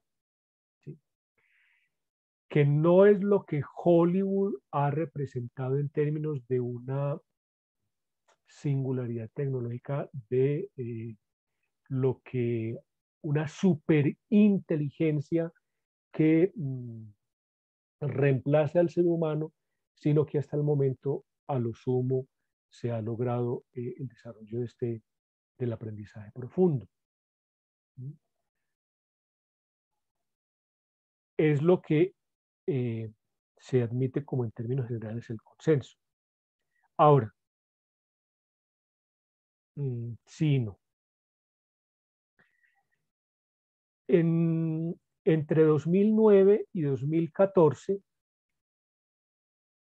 ya empezamos a encontrar lo que fueron estos sistemas Siri, Alexa, el de Google, en el caso de estos eh, juegos de, de AlphaGo. Y carácter, o más bien como desarrollos muy concretos en el 2009, las redes neuronales profundas reconocen voz. En 2012 se desarrollan redes, neuronales profundas para productos comerciales. En 2014, el MIN de Google, eh, digamos que le gana, vence a Juan Hui, uno de los más eh, expertos en este juego de AlphaGo. Y esta autora de mi dice una cosa muy interesante que me pareció significativo citar aquí. Y es que para que los sistemas de inteligencia artificial ganen, tienen los humanos que perder de maneras que puedan ser consideradas triviales, pero también profundas. Es una pregunta filosófica para que los sistemas de inteligencia artificial ganen, tienen los humanos que perder de maneras que puedan ser consideradas triviales, pero también profundas. En el contexto del AlphaGo es un juego. ¿sí? Pero si eso se lleva a una escala mayor, para que la inteligencia artificial se desarrolle, logre esos alcances, esas pretensiones, los seres humanos tienen que entrar de entrada, tienen que, digamos que, ir de entrada perdiendo.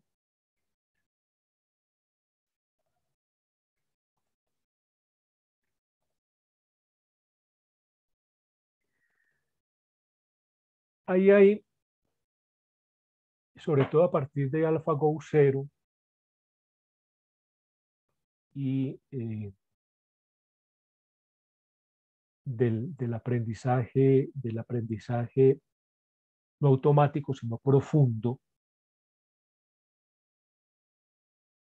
mm, ahí hay que preguntarse en términos ya críticos si eh, lo que en algún momento era una cuestión de juego eh, se va a volver una, una, ley y es el descarte de lo humano.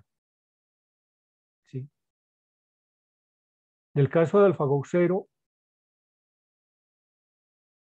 un sistema de aprendizaje por refuerzo o no supervisado, sin intervención de alguien que alimente de información, por tanto, supone aprender por cuenta propia. Por tanto, eh, optar entre una cosa y otra. Reconocer, aprender las condiciones, los valores, las motivaciones para tomar decisiones. Competir contra sí mismo como estrategia de aprendizaje. Usar nuevas estrategias, pensar de manera totalmente nueva.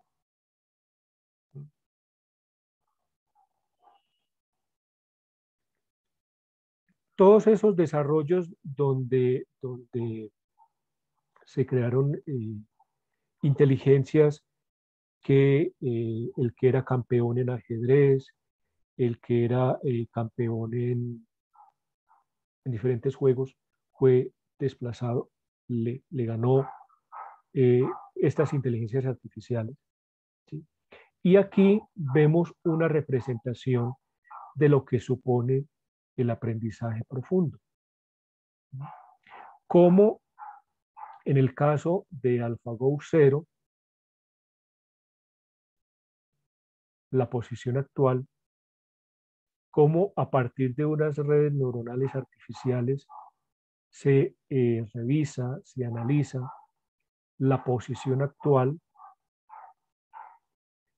y eh, a partir de una política o de unas eh, normas o, leyes establecidas dentro de esas redes neuronales artificiales, con ayuda de un sistema de búsqueda de soluciones, se eh, exploran diferentes posibilidades según esa posición y según esas condiciones. Y a partir de esa exploración de diversas posibilidades, se mm, llega al resultado más probable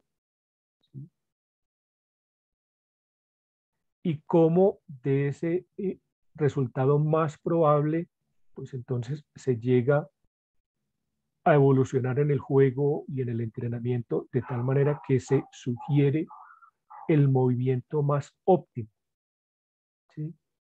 Entonces, todo ese proceso de analizar la posición, las condiciones, de explorar posibilidades a través de redes neuronales y de sistema de búsqueda de soluciones, cómo hace que el juego vaya a ir él mismo, por sí mismo, aprendiendo a anticipar la siguiente posición.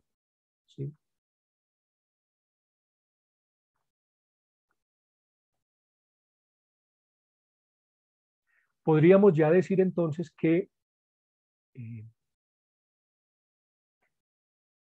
a estas alturas del desarrollo de la inteligencia artificial hablamos de inteligencia general o fuerte y una cuestión que se conjetura sobre, la superinteligencia.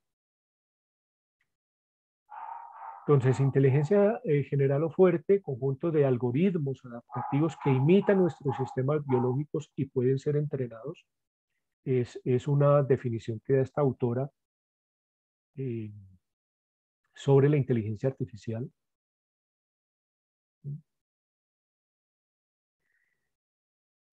Que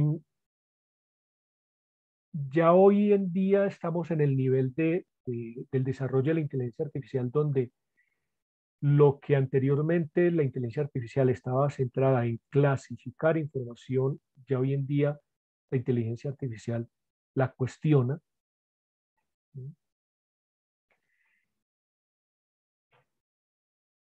Que aunque algunos todavía creen que la inteligencia artificial está más en el proceso de aprendizaje automático que el aprendizaje profundo. Para otros autores mucho más eh, críticos dicen, estamos ya en un desarrollo del aprendizaje profundo en el término de desarrollo de capacidades de impredecibilidad, de toma de decisiones inexplicables para los mismos creadores de esas inteligencias artificiales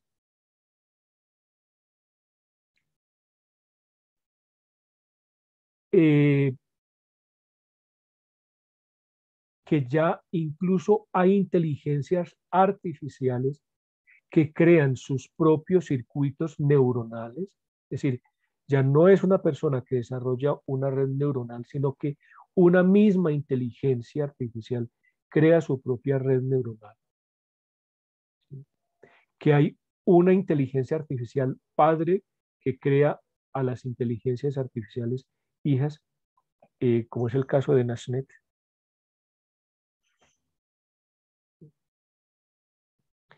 el AutoML o aprendizaje por refuerzo y que todo esto supone que sean inteligencias artificiales con capacidad para razonar, para planear, para resolver problemas. Estamos hablando de inteligencia eh, general fuerte. Para pensar de manera abstracta, para comprender ideas complejas, para aprender rápidamente y para aprender de la experiencia.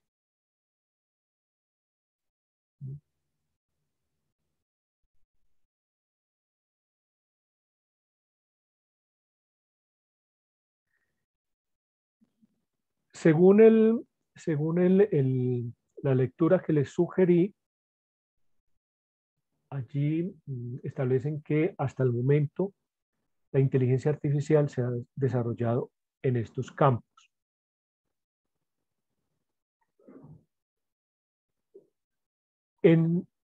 Si lo miramos de abajo hacia arriba y de izquierda a derecha, encontramos que mm, en la primera columna, sistemas con intervención humana, en la segunda, en el de la derecha, sin intervención humana, que hay sistemas preprogramados, sistemas específicos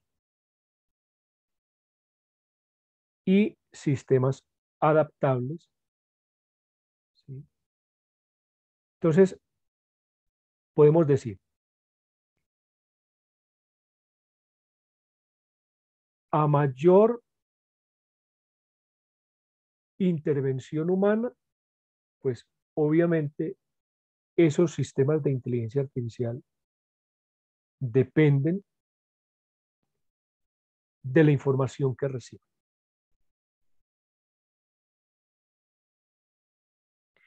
Y el alcance de esos, de esos sistemas prácticamente es el de ayudar, asistir a tomar decisiones.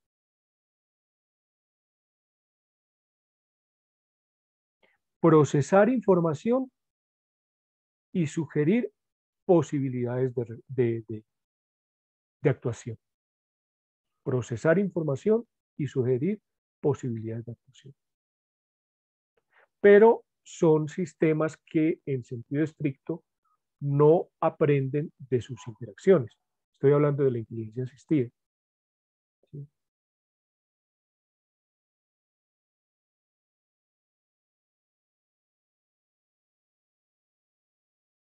Ahora,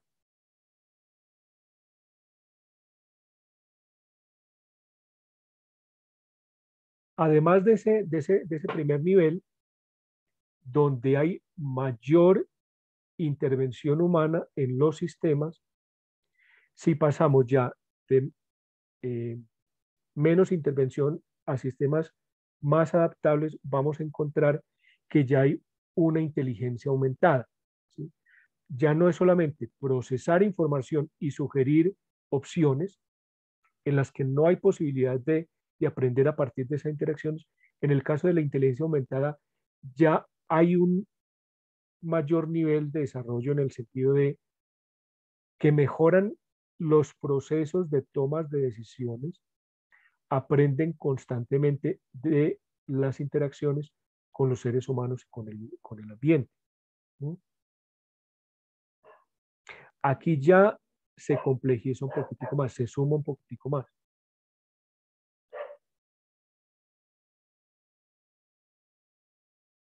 Los sistemas van cobrando mayor autonomía, no solo mayor rapidez en el proceso de la toma de decisiones y por tanto en el procesamiento de las informaciones, sino que además de la información que se le suministra, también aprende de otros factores, no solo de los datos.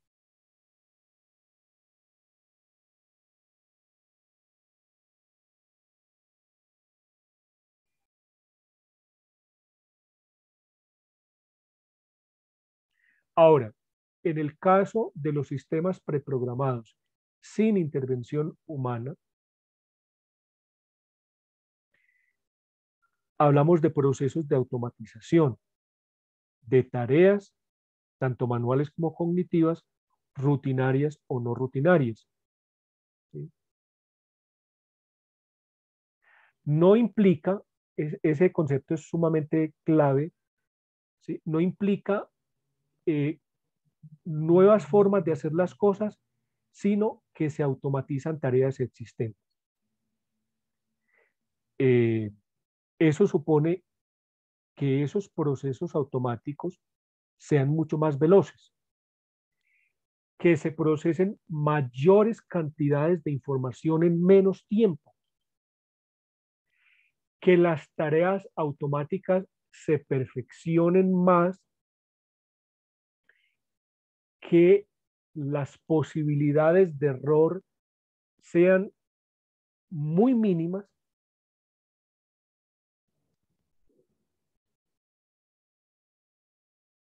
y ya en un momento donde los, eh, además de la, de la ausencia de intervención, eh, estos sistemas adaptables llegan a un momento ya de inteligencia autónoma. Es decir, son sistemas de inteligencia que pueden adaptarse a diferentes situaciones, ojo, la capacidad de adaptación, y funcionar autónomamente, esto es, sin asistencia humana. Ya no necesitan que el ser humano les suministre datos, ni siquiera que el ser humano cree eh, algoritmos o, inteligencias, sino que ellas mismas van eh, creando inteligencias eh, a partir de redes neuronales de múltiples capas, de tal manera que se suplan ellas mismas las necesidades, no solamente de interacción con el medio, de procesamiento de la información, de celeridad en los procesos, en los procesamientos de dicha información, de certeza con las respuestas. Eso es lo que tenemos que nosotros empezar a juzgar sobre la inteligencia artificial. ¿Qué es lo que pasa?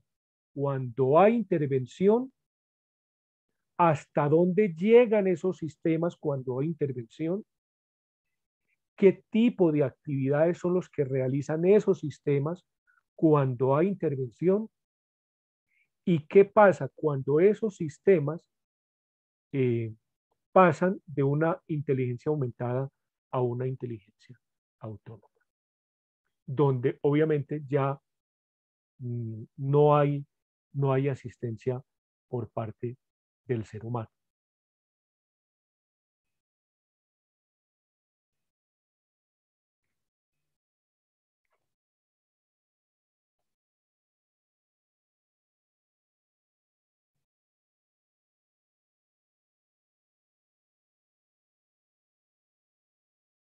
Listo. Vamos entonces ahora,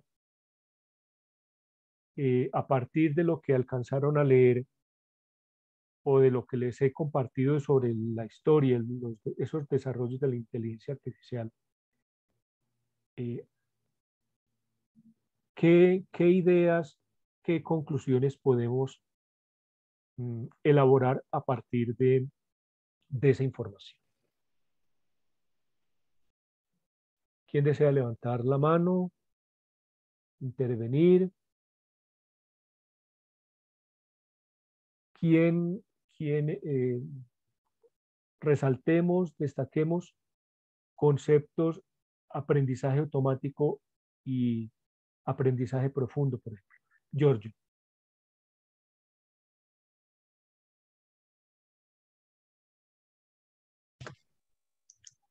¿Se escucha? Sí, hermano. Bueno, este, Primero quiero hablar un poco sobre, viendo, viendo las dos lecturas, pues el, la lectura de Iglesias, que fue mandado de Iglesias, García, Puig y Benzaqué, y el artículo de Notre Haynes, que se nos mandó antes de ayer. Pues quiero hacer una, una crítica al, al, libro en general. Pues es un libro que, como todo, obviamente todos tenemos intereses al momento de hacer algo. Pues al ser financiado por el BID, no significa que el BID sea una institución mala, ni mucho menos, pues se nota que hay, hay como unas ganas de, de demostrar la inteligencia artificial como algo más, como algo totalmente positivo, no, no hacen no remarcan en los que podrían ser los, las cosas prejudiciales de, esta, de la aplicación de la inteligencia artificial, de pronto en pequeños apartados, pero muy pequeños a lo largo de un libro de más o menos 125 páginas, lo cual pues pone a, a pensar bastante. Y me parece muy interesante cómo Haynes en su artículo eh, el término de inteligencia artificial, digamos, como unas promesas sobrevaloradas.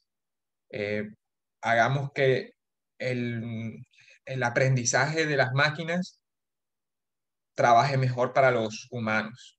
Entonces, él, él, él no habla de esto inteligencia artificial, sino habla de, de aprendizaje de las máquinas.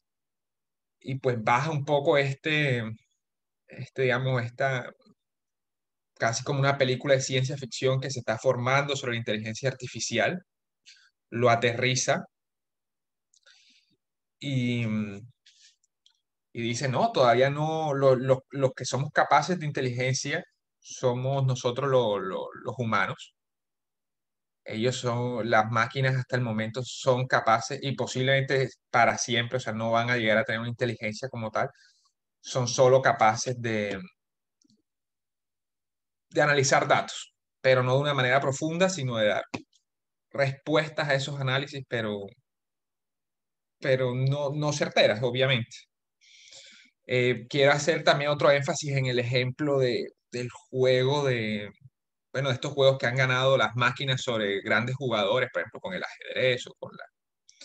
Y hay algo que pasa, eh, bueno, que, que, varios autores tratan, ahora mismo no me sé el nombre, que es del, del lado psicológico, que muchas veces, incluso también por, por, por todo esto de la ciencia ficción, pues ya el, el jugador este, va con miedo, así no lo demuestre, creyendo que como ya perdió, y eso afecta en, en, el resultado final. En pocas palabras, lo que quiero dejar como conclusión es que es un tema que hay que tratar para perder estos miedos, eh, para perder esta fantasía y que no podemos dejarlo únicamente en manos de, de los grandes eh, programadores o de las grandes personalidades de, de, empresas multinacionales porque todos tenemos derecho y todos tenemos la posibilidad de aprender, pero para eso pues tenemos que, que investigar obviamente y tenemos que hablar sobre el tema, no podemos encerrarlo y dejarlo para, para un selecto grupo, nada más. Gracias, Giorgio.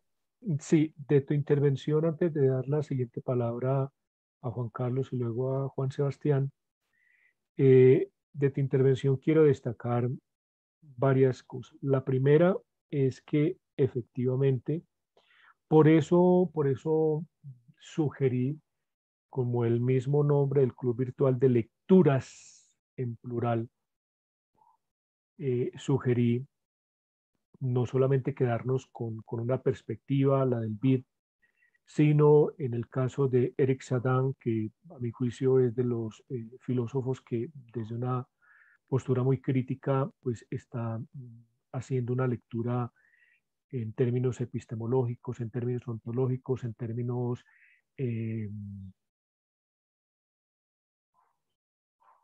bueno, que van mucho más allá de la postura de los autores del libro del BID, pero también estos últimos libros de la UNESCO, porque eh, esto es lo que hace, por un lado, que no nos casemos con una sola lectura, con una sola perspectiva, mm, En el caso de la UNESCO es un órgano internacional multilateral. Esos documentos han sido eh, elaborados por eh, autores de diferentes latitudes, lo que hace que sea mucho más rica, digamos que sus posturas. Y por eso, y por eso creo que solamente al final eh, de, de, este, de esta corte podremos tener una visión más amplia, elaborada, en lo posible no sesgada, en lo posible no sesgada eh, de, lo que sea la inteligencia artificial. ¿Sí? Por ejemplo, esta Amy Webb en, en el libro de los nueve gigantes es muy dura, es muy dura con los desarrollos de la inteligencia artificial que se están dando en China. ¿sí? Pero mm, es más eh, considerada con los desarrollos de la inteligencia artificial en Estados Unidos. Pero es que, claro, si uno busca quién es el pues obviamente encuentra, mm, eh, se le abona, se le abona que es una investigadora, pero pues obviamente también ha trabajado eh, para organismos estatales. Y que trabaje en un organismo estatal de Estados Unidos, eso supone que tiene que estar alineado. Eh, profesor, solo me dejaría dar una última claridad antes de darle la, la, la, palabra a los compañeros y me disculpo por la demora. Es que con esto no quiero decir que sea un mal libro, ni mucho menos. De hecho, es muy interesante y me parece un buen libro para, para entrar en cuestión y para saber las bases porque hay que tener las bases para comenzar a hacer un discurso más, más complejo y entrando más en el ámbito filosófico, si no, pues no estaríamos hablando o hablando por hablar cualquier cosa. Sí, de acuerdo, ¿no? Y, y o sea, no, digamos que la, la, la respuesta mía no es criticando tu, tu lectura, tu postura, sino que efectivamente es eso. Dentro del ejercicio de lectura tenemos que saber desde dónde se están parando los autores, cuáles son sus intereses, cuáles son sus intenciones. Un texto no es, eh, no está exento de, intereses y, de posiciones. Entonces, Juan Carlos, Juan Sebastián y Brian, en ese orden de, creo que han eh, pedido la palabra. Adelante, Juan Carlos. Sobre los, sobre los puestos, se, me, pues tengo varios, varios aportes uno que es como ya para, para, para fijar una,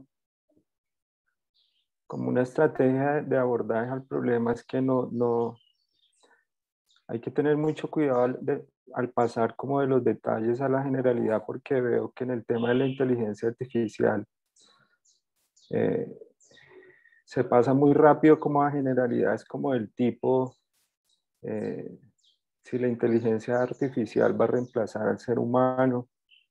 Mm, o sea, eh, en la exposición vi como, como en los detalles, como muchos olvidos, como muchos presupuestos, como, o sea, no, no, no, o sea, como, o sea, del propio tema, o sea, como que el propio tema eh, es veloz en presuposiciones y en, y en, y en, en un diálogo como oculto que, que, que va como por debajo de, de la corriente superficial. Entonces, como no, no, no pasar muy rápido a, ni, a la fobia, ni, ni a la filia, ni, ni, ni, como a la conclusión filosófica. Es más, ese paso a, la parte filosófica no, no, no tiene que empezar como conclusión o como una pregunta que induce una respuesta, sino, sino básicamente como inicio, lo diría yo, como un inicio de, de, de pensar a partir de, de la inteligencia artificial sobre estas dos cosas. O sea, er, pues supongo, eh, considero que, que, es necesario, estoy de acuerdo que es necesario que, que empezáramos por una historia de la inteligencia artificial. Pero eso por lo menos debería darse en el conocimiento de una historia también de la inteligencia, o sea, una historia de la inteligencia humana, porque pues pareciera que el horizonte de la inteligencia artificial y es al contrario, el horizonte es la inteligencia humana. Yo por lo menos no, no, no la tengo ni siquiera conozco bibliografía de, bueno, uno podría decir que la historia de la filosofía y del arte es la eh, eh, implica la o es la misma historia de la inteligencia desplegada en el, desplegada en el tiempo. Pero claro, la historia de la inteligencia, o sea, por citar ejemplos, para en la metafísica neoplatónica la inteligencia es una hipóstasis del uno. Mm, para Aristóteles la inteligencia está vinculada con lo sagrado, bueno, para el materialismo será otra cosa. O sea, entonces el horizonte y, y, el, mismo, el mismo diálogo con la inteligencia artificial se muestra que el horizonte o el trasfondo es la inteligencia humana hasta el momento, ¿no? Inicialmente, no la inteligencia artificial. Lo segundo que también veo es que, que en la exposición de la inteligencia artificial desde su historia, claro, ya se, ya se escucha uno los rumores, o sea, los rumores y los silencios de una antropología filosófica, que tampoco está explícita esa antropología filosófica, porque se, se juega, o sea, se, se, pasa de que, de que la inteligencia artificial empieza a manifestarse en unos verbos en unos infinitivos que también van a la par de los infinitivos antropológicos, o sea, ¿cuáles son? Entonces empieza a mostrar que es razonar, abstraer, por ejemplo, jugar. Entonces, eh, eh, ahí vemos el, el, juego de unas antropologías porque, porque pareciera que jugar es ganar, pero lo, pues, el jugar no es ganar, sino jugar. Entonces uno pregunta, bueno, si un computador gana es que juega o está, o, está jugando o está jugando el juego. Y si uno, si uno ya dice, bueno, ¿cuál es la antropología del juego? O sea, la antropología del juego no es ganar. Si, por citar a un autor, por ejemplo, a Gadamer, o sea, el juego es fiesta, la fiesta es celebración y la celebración es la presencia de lo sagrado en, lo humano. Entonces ya, ya eh, que fue lo primero que dijo, o sea, lo que primero o lo que no podemos olvidar es sacar a la luz o sacar al espacio del pensamiento esos discursos callados que pareciera que, que, ya los hemos, ya están resueltos, pero que no son así. Entonces, eh, eh, eh, para mí fue evidente como esa, esa corriente de, una, de una antropología o de dos antropologías ahí que, que no estaban explícitas. Esa sería mi, mi participación.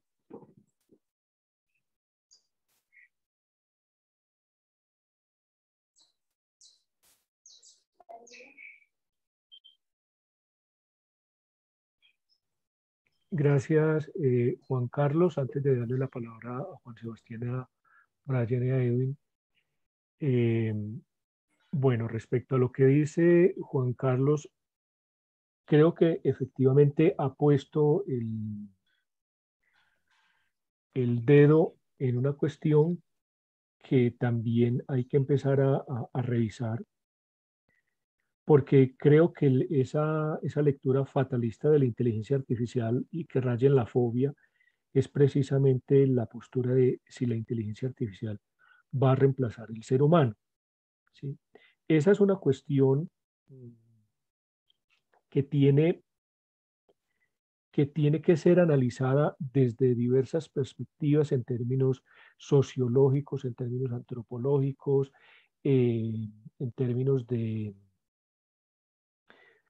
eh, laborales, en fin. Creo que, creo que esa es una cuestión que, que tenemos que también poner entre paréntesis, no solamente la ficción que nos ofrece a nosotros Hollywood, sino también eh, esa, esa postura de si, de si va a reemplazar, eh, digamos que al ser humano. ¿sí? En, el, en el desarrollo, en el desarrollo que, que de la inteligencia artificial, en el desarrollo histórico, si se quiere, que mostré a partir de, Amy Webb, lo que mm, nos atuvimos fue precisamente a los desarrollos que se dieron en el marco de la inteligencia artificial eh, en esos procesos de eh, ensayo, error, en esos procesos de, eh, de, hecho, de hecho, la mayoría, insisto, coinciden en que, mm, pues que ha habido unos momentos de, mucha claridad en, en, los desarrollos, pero que otros momentos se quedan en la conjetura y, y en la anticipación Creo que otra de las cosas que llama la atención Juan Carlos es precisamente sobre la inteligencia. Eh, ya mm, eh, Turing hablaba de preguntarse eh, si las máquinas podrían pensar, había que partir primero de qué significa pensar y qué significa máquina. ¿sí? Y pues efectivamente hay autores que están antes de desarrollar, o más bien de analizar lo que es, de analizar lo que es la inteligencia artificial, eh, artificial retomar precisamente esos desarrollos en términos psicológicos, en términos antropológicos, sobre lo que se supone que es la inteligencia, comillas, natural o inteligencia humana. Y mm, realmente también es, es significativo que precisamente estemos en una época en la que, en virtud de la inteligencia artificial, tengamos que revisar precisamente qué se entiende desde el campo filosófico eh, aunque Juan Carlos lo, habla, por ejemplo, desde el, jugar, pero desde el campo filosófico, en sentido estricto, ¿qué significa pensar? Si, pensar si pensar es procesar datos y llegar a resultados, bueno, desde la postura, por ejemplo, heideggeriana, eh, eh, uno podría decir, es que mm, como el lenguaje no es mero instrumento,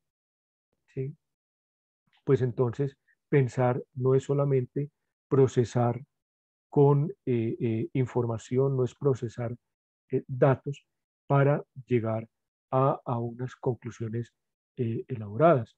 En este caso, en el, ejemplo que utiliza Juan Carlos, en el del jugar. No es llegar al resultado, al ganar o al perder, sino a llevar a cabo el sentido mismo de lo que se supone significa jugar. Bien. Eh, Brian, Edwin. Gracias, profe. Mm, frente a la, revisión histórica que usted plantea en la introducción del tema de la inteligencia artificial, yo me fijo en un punto importante, por ejemplo, lo, lo, destacó, lo destacaron los dos compañeros que me anteceden y es esta búsqueda como de objetividad en las posturas sobre, sobre la inteligencia artificial, para no caer en los extremos que usted nos dice y todo. Sin embargo, mm, ese, ese temor por la aparente parcialidad que tienen algunos autores por su contexto, por sus intereses económicos, políticos, etcétera, en los temas de inteligencia artificial, pues nos llevan a buscar una objetividad, pero en inteligencia artificial necesariamente incide la acción humana, la inteligencia humana en el momento de la programación, de la génesis de cualquier software de inteligencia artificial. Entonces, y pues la inteligencia humana, bajo mi criterio, difícilmente podrá alcanzar esa ilusión de objetividad que se tiene, porque la subjetividad es la que hace el proceso intelectual que genera en últimas la determinación o decisión que se toma. Y eso es lo más alejado al objetivo que puede haber. Entonces ahí es que yo insertaría el discurso que se plantea también en, la invitación al, al club de esta corte y es una revisión ética de la inteligencia artificial y una revisión ética de la formulación de los algoritmos de inteligencia artificial. porque debemos separar el afán de objetividad por un afán de contenido ético, que es la formulación, aunque subjetiva, ética de los, algoritmos. Y entonces allí, mm, en ese recuento histórico que usted hace, yo me quedo en un punto que es la formulación de, de Turing, la formulación de Turing sobre la capacidad de pensar de las máquinas, mm, identificándolas como una máquina que pueda generar una respuesta que sea imposible distinguir si fue de un humano o una máquina. Esa, esa formulación en 1980 fue sometida a una buena prueba que es la habitación china del filósofo Sirli. Y esa habitación china pues demostró que una persona dentro de una habitación, así no conociera el, la lengua china, mandarín específicamente, en ese caso, si tiene un interlocutor que sí conozca la lengua y se comunican a través de códigos donde el que está dentro de la habitación que no habla chino le dicen si te si te entregan tal grafía puedes responder con esto y establecer una comunicación. Entonces allí sin conocer la lengua pueden establecer una comunicación que no se puede distinguir si la conoce o no, si habla el chino mandarín, sino que atiende simplemente a códigos. Esos códigos son los mismos que encontramos en los algoritmos. La máquina posiblemente no es que haga todo el proceso intelectual de sacar una inferencia o una deducción lógica de lo que está haciendo, un aprendizaje de la experiencia de, lo, de las actividades que está ejecutando, sino que atiende ya a códigos anteriormente diseñados por un programador. ¿Y a qué ha conducido eso? Mm, el problema para mí se plantea cuando la máquina se o se enfrenta al ser humano a través de la máquina a la toma de decisiones que comprometan garantías fundamentales de las personas. Una garantía preciosa, ejemplo, la libertad. Hay un ejemplo muy concreto de la libertad vista afectada por algoritmos de inteligencia artificial. Por ejemplo, un un presupuesto para privar a alguien de la libertad ante la imputación de un delito es el riesgo de reincidencia en caso de ser dejado en libertad. Y ese riesgo de reincidencia en Estados Unidos, que es un país avanzado en términos de tecnología y lo que se quiera, mm, ahorita entre el 2013 y 2014 tenía un algoritmo de inteligencia artificial denominado COMPAS. Y el COMPAS era un algoritmo que a partir de los datos, de unos datos de vida, de una experiencia, formación y todo de las personas, les determinaba el riesgo de reincidencia. Un riesgo de reincidencia criminal alto significaba medida de aseguramiento, o sea, privativa de la libertad, y un riesgo de reincidencia bajo, pues permitía la libertad. Entre 2013 y 2014, el fiscal general de Estados Unidos solicitó un análisis de los sesgos que pudiera tener este software de inteligencia artificial y realizó un análisis de 18.610 detenidos y entre los 18.610 detenidos encontró que en más del 80% de los casos valoraba un riesgo de reincidencia altísimo en las personas negras. Entonces, así el software de inteligencia artificial Compass estuviera nutrido de gran información, de posible aplicación correcta de lo que en derecho llamamos las reglas de la experiencia, y todo eso tenía un sesgo racista y valoraba el riesgo de reincidencia altísimo en los negros. Entonces allí, esto más que objetivo, más que un tema de conocimiento, de enfocarnos en el pensar, para mí está muy bien enfocado por usted en el marco ético y ahorita lo vemos en los proyectos de ley actuales que en Colombia se están esforzando por llegar a un marco ético en la UNESCO, allí están los documentos entre los que se nos envió. El tema está en lo ético, porque la objetividad es muy difícil aquí y siempre que se, el software o el algoritmo dependa de un programador, eh, la objetividad es una utopía, simplemente un, un salto de confianza que tenemos, pero que no, no se va a lograr. Entonces la conclusión sí es apuntar a ese tema y redondeando todo sí que es filosófico el asunto. Muchas gracias. Gracias, Brian. Sí, efectivamente, mm, dentro de los análisis no se puede descartar tan ligeramente las cosas, eh, requieren de procesos de objetividad sin que eso suponga que exista una objetividad absoluta. Eh, eh, no quiere decir que porque no exista una objetividad absoluta haya que negarla, todo lo contrario, hace parte del proceso que efectivamente cada vez se vaya a ir ganando más, más objetividad, que mm, es como la verdad. ¿sí? nadie tiene la verdad en sus manos de manera absoluta, pero en tanto y en cuanto mm, haya una mayor intersubjetividad, eh, mayores posibilidades de, eh, de unos criterios de, verdad, de objetividad, eh, compartidos, construidos de manera social.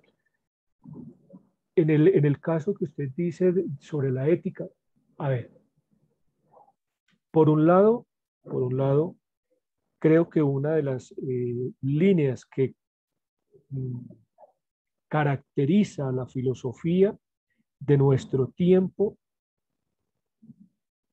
indefectiblemente, indefectiblemente, son las cuestiones ético-políticas. Si nosotros digamos que a estas alturas le damos la espalda a los fenómenos eh, que, suponen un análisis ético, un análisis político, eh, estaríamos siendo o muy anacrónicos o como mucho eh, muy románticos. Obviamente no podemos, no podemos descuidar otros, otros elementos, pero sí que es cierto que la filosofía hoy en términos generales, eh, está muy determinada por lo que desde la ética y la política se pueda aportar. Edwin. Bueno, yo tengo dudas en general acerca de cómo se entiende la inteligencia artificial y esto no lo hago en primer plano desde, desde los pocos conocimientos filosóficos, sino desde mi experiencia ya como desde el 2015 de, de programador. Creo que toda esta historia no me parece la historia de la inteligencia artificial, sino la historia de cómo ha evolucionado la tecnología en cuanto se interpreta un algoritmo y en cuanto el algoritmo resuelve un problema humano. Y ahí la inteligencia artificial como programador tiene que enfocarse en replicar la conciencia o el cerebro de un individuo, es decir, clonar a un sujeto. Por eso yo a veces hablo de un sujeto artificial, que es donde realmente va la inteligencia. Creo que en muchos ejemplos que, que se dan y que han expresado los compañeros, incluso en derecho y en otras áreas, estamos hablando de IoT, del Internet de las Cosas, que ese es el Internet que está enfocado en determinada actividad que no debe confundirse, a mi parecer, con la inteligencia artificial. Y lo otro es que el preguntarse si las máquinas piensan es algo muy peligroso y muy quisquilloso, porque es que esa pregunta que se están haciendo los informáticos no es una pregunta acerca del pensamiento en general, no es una pregunta de cómo funciona el, el pensamiento, sino que están haciendo están suponiendo algo y lo que están preguntándose más bien no es cómo piensan las máquinas, sino cómo procesan las máquinas la información y cómo sobreviven en sí mismas como un objeto, que es muy diferente a si piensan o no piensan. Es más cómo actúan ellas en sí mismas. Y ese tema de la inteligencia artificial cae para mí, yo lo estoy viendo, me apasiona, pero estoy mirando una dificultad en un término filosófico, porque podría hablar de la inteligencia artificial como un sujeto artificial que da muerte a un sujeto en cuanto trata de superarlo, también de un tema muy mm, fenomenológico y metafísico del ser propio de esa inteligencia, pero me quedan muchas dudas sobre, sobre ese actuar informático, porque hay algo que decían también, ya, se me escapa, y hablamos de la inteligencia humana con una generalización, ¿no? Como que todas las mentes humanas están en un mismo nivel de inteligencia y por tanto podemos clonarlas en lo artificial, ¿no? Yo creo que la mente humana es inteligente, pero son pocas mentes las que nos han demostrado que son inteligentes, no la generalización, sino unos pocos casos de una gran envergadura. Y ya para finalizar, yo creo que la máquina no va a pensar, nunca va a pensar, como programador digo que la máquina sigue un pensamiento y es el pensamiento que le ha fomentado un individuo, que le ha hecho un sujeto al programarla y que incluso cuando la máquina crea que piensa o que el sujeto dice la máquina está pensando porque está haciendo algo nuevo, lo que está haciendo es continuando un proceso lógico y de algoritmo que ya se le infundió. O sea, no está pensando ni repensando, lo que está es construyendo, realizando algo a partir de lo que ya se le impuso, que no es necesariamente crear algo como pensamiento, como idea, como tal. Gracias, gracias Edwin. De tu, de tu intervención destaco, destaco dos cosas. La primera, que efectivamente mm, esa pregunta sobre qué significa pensar sigue abierta, ¿sí? Antes de eh, llegar a decir sí o no piensan las máquinas, pongámonos de acuerdo primero en qué significa pensar. Eh, incluso cuando, cuando hablas de un sujeto artificial, eh, revisar el concepto de sujeto, ¿sí? Mm. Si realmente eh, en términos lógicos cabe hablar de sujeto artificial a partir del concepto de sujeto. Em, sí, que, sí que es cierto que los desarrollos, bueno, a partir de, de, de Web, de, inteligencia artificial, por supuesto, hemos pasado de monjes, patos autómatas, a máquinas, luego a códigos, eh, ¿sí? Eh, que estamos en un momento en que la inteligencia artificial todavía depende, todavía depende en gran medida de un de una eh, asistencia humana, pero no nos quedemos en el concepto solamente de aprendizaje automático, sino que eh, contemplemos eh, con lupa lo que supone el aprendizaje profundo. ¿sí? Por eso llamaba la atención, por eso llamaba la atención al final en lo que es aprendizaje automático y lo que es aprendizaje profundo y mm, de ahí la sugerencia en esa, en esa referencia de estos autores, autores del BID. Por supuesto, la semana entrante vamos a entrar en otra perspectiva, en otra mirada, en otra eh, mm, en otras consideraciones sobre la inteligencia artificial. Pero, pero creo que mm, estamos, estamos en un momento donde, a mi juicio, una de las ganancias de, eh, de este encuentro de hoy es la invitación a no cerrar y sí a revisar el sentido de muchos términos ¿sí? que son decisivos a la hora de, ser, de ganar objetividad en un discurso sobre la inteligencia artificial. Gracias, Edwin. Juan Sebastián y Javier.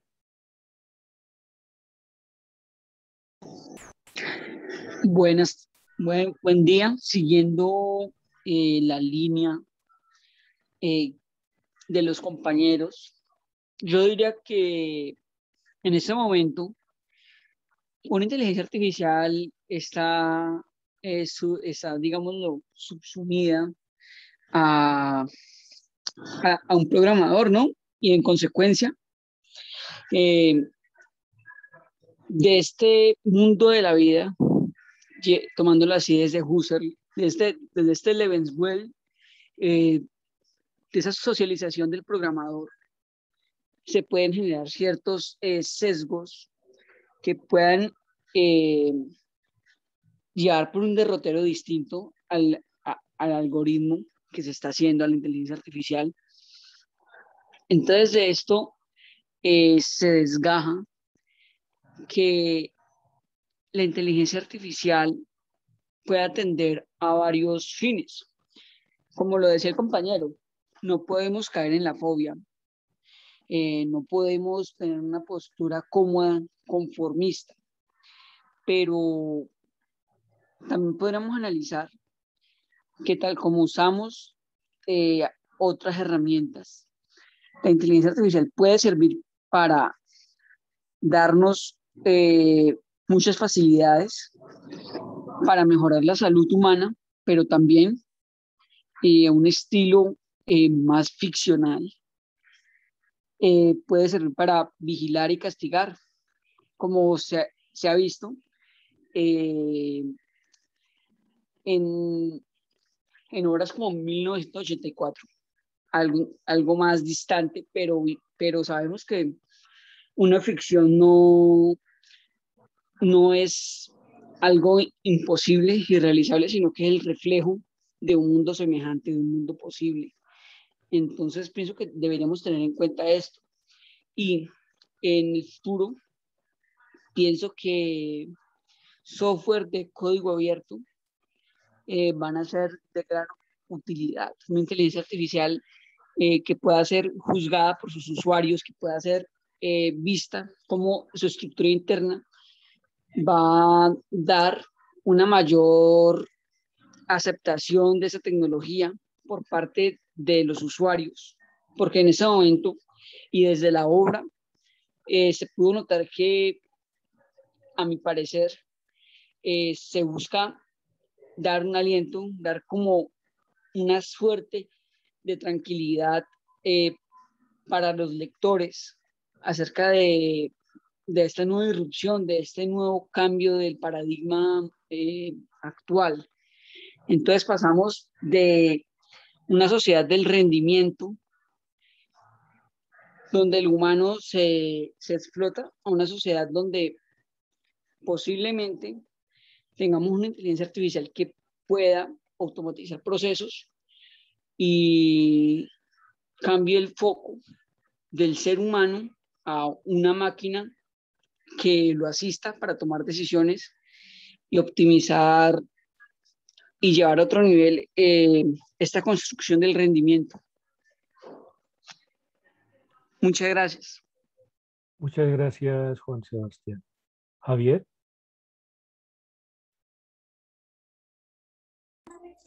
Hola, hola. Adelante. bueno, eh, Bien, no, eh, quería, quería señalar lo siguiente.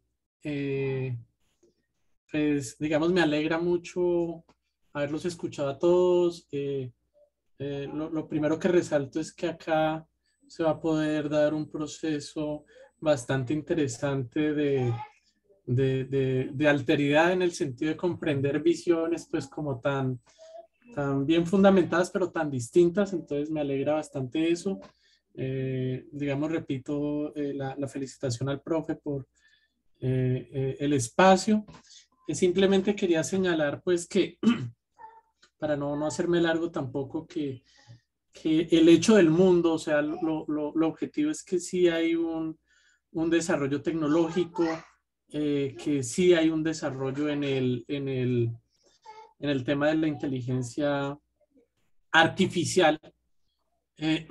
y que pues nosotros como filósofos, eh, mirando ese fenómeno del mundo, eh, pues lo, abordamos eh, con distintas perspectivas, ¿no?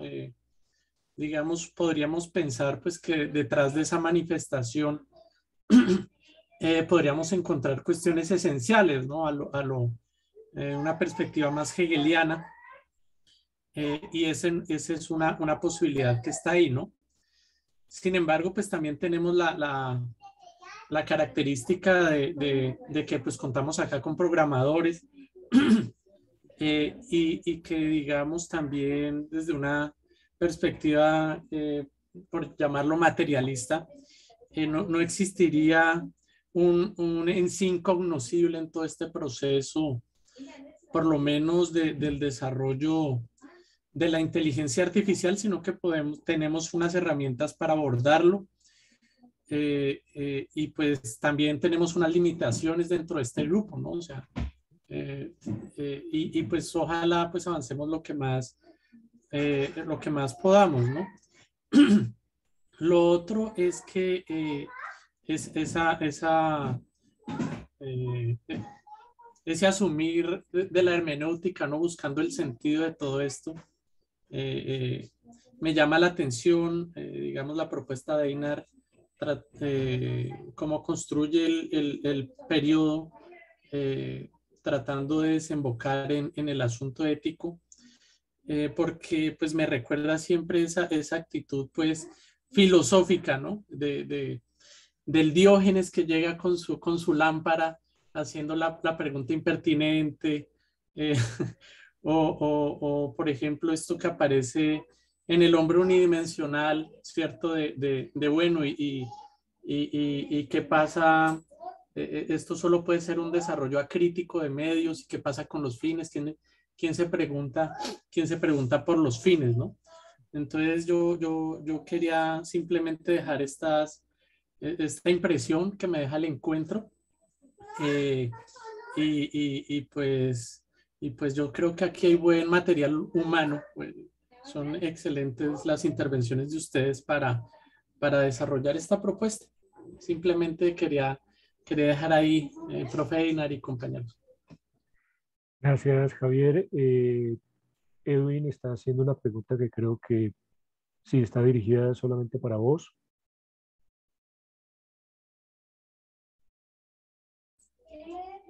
Bien, Edwin Tamayo. Javier, ¿qué opinas sobre la relación entre filosofía analítica e inteligencia artificial o entre ellas? Filosofía analítica e inteligencia artificial. Bien, pues eh, la opinión, ¿no? Eh, yo creo que, que, sí hay una, una, una relación, ¿sí? En el sentido de, del lenguaje, ¿no? Eh, y que, digamos, el, el, tipo de lenguaje desarrollado, lenguaje ingenieril, lenguaje lógico, es un lenguaje de signos, ¿no? es un lenguaje de signos lo, que nos, nos acerca mucho a, la, a, la, a, la, a la analítica, ¿no? Es un lenguaje, eh, digamos, más simbólico, ¿cierto? Entonces yo creo que ahí podemos encontrar una, una, una buena, una absoluta relación o, o, muy grande relación en esto, ¿no? No, no conozco, digamos, eh, eh, los últimos desarrollos de los lenguajes de la inteligencia artificial, pero, pero porque siempre hay cosas pues desconocidas, pero en generalidad, en, en términos de la, de la, lógica, si vemos claramente un lenguaje de signos, ¿no? Por, por medio del, del cual eh, la, la, la, lógica los interpreta como un signo definido y no como como algo, digamos, susceptible de, de interpretación hermenéutica profunda. Eh, y eso es lo que hace que los procesos puedan ser eh, de alguna manera predeterminados, eh, medibles, ¿sí? Después yo, yo, yo diría eso en, en, este, en este momento y pues para, para dejarlo ahí, ¿no? Qué pena la extensión. Gracias, Javier. Sí, yo creo que mm, como para complementar eso, podríamos incluso ser mucho más específicos, porque es que la, filosofía analítica es mucho más amplia. Podríamos hablar más de filosofía de la mente, ¿sí? en sentido estricto. Eh, Juan Carlos, y ya con Juan Carlos un espacio para dos horas, se nos fueron tres. Qué pena.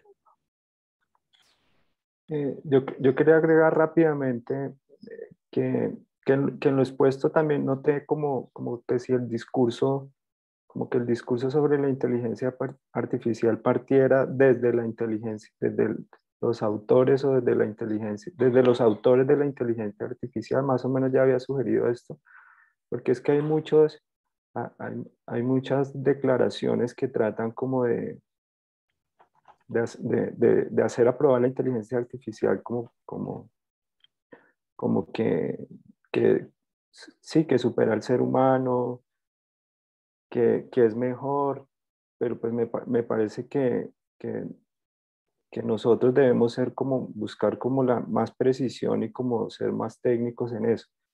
En ese sentido, por ejemplo, declaraciones que hubo que, que el aprendizaje profundo, lo que tiene relación con él, eh, la inteligencia artificial eh, ejecutaba acciones impredecibles e impensables. O sea, pues eso, eso de entrada es una contradicción, porque pues, ¿o qué quiere decir que sea impredecible? O sea, pues uno supone que la inteligencia artificial es, es, racional, ¿no? Y si es racional es, es, es predecible, porque pues si no fuera racional, no podría haber una teoría de la inteligencia artificial. O sea, yo no, o sea simplemente son como, como declaraciones como, como de uff, como que impresionante, pues no, pero no aclara a qué se refiere la impredecibilidad, si una imprevisibilidad, eh, no sé, hasta ontológica en el sentido de acontecimiento o de cálculo, de qué es. Lo otro es que, es que ahora me di cuenta que, que, que hay una sugerencia en esas en esas leyes de, de Isaac Asimov sobre la robótica, que es una sugerencia filosófica porque como parece ser que está relacionando inteligencia con el conatus de Spinoza o con, o con, sí, con esa perseverancia en el ser que tiene el ser, ¿no? Porque pues al final dice que un robot debe proteger su propia existencia cumpliendo otra, las dos anteriores. O sea, entonces queda la pregunta, pues, ¿qué relación hay entre inteligencia y conatus, o, ese concepto filosófico que pues que no solo es de Spinoza, sino pues tiene, otros aspectos. Entonces me, hace creer que, pues, ¿dónde está el conatus? ¿Su origen es la inteligencia o es la voluntad? No sé. Son cosas que están como implícitas. Otra cosa pues, que me llama la atención, que también quiero dejar como, como planteada la, la necesidad de claridad es sobre si, si la inteligencia artificial opera o funciona por pura positividad. Y, que eso es lo que se está evaluando. Y que eso comparado con la inteligencia humana, si la inteligencia humana es pura positividad, ¿qué quiere, qué quiere decir esto? O sea, positividad es que, por ejemplo, tiene que hacer todos los cálculos, o sea, todos los cálculos que internamente, a, eh, digamos, pasar por todas las opciones para poder tomar una decisión. O sea, si la inteligencia artificial es pura positividad, claro, en, eso, en, eso, en esa capacidad de cálculo y en esa capacidad pues supera la capacidad de cálculo de, humana, que en ese sentido es muy limitada. Nosotros no podemos hacer mentalmente divisiones de, de tres cifras, pero pues un computador, una inteligencia artificial lo supera. Pero sí me queda esa claridad porque ahora eh, rememorando los esquemas de la inteligencia artificial que mostró la exposición, o sea, son bucles, son bucles de programación que tienen que pasar por todas las opciones. Claro, lo hacen muy rápido porque puede evaluar no sé, millones de opciones en un segundo, aunque eso ya obviamente nos está mostrando que es finito.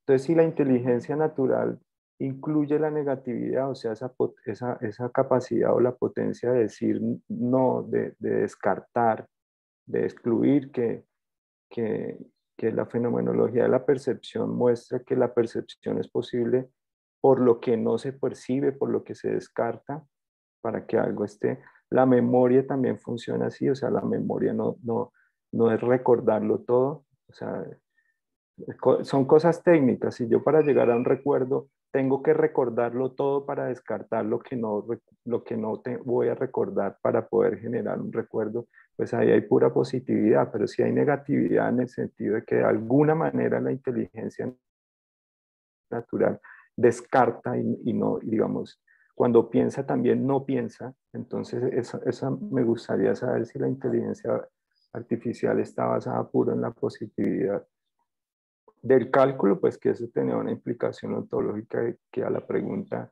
qué es lo que es, pues sería pues un ser calculable siempre.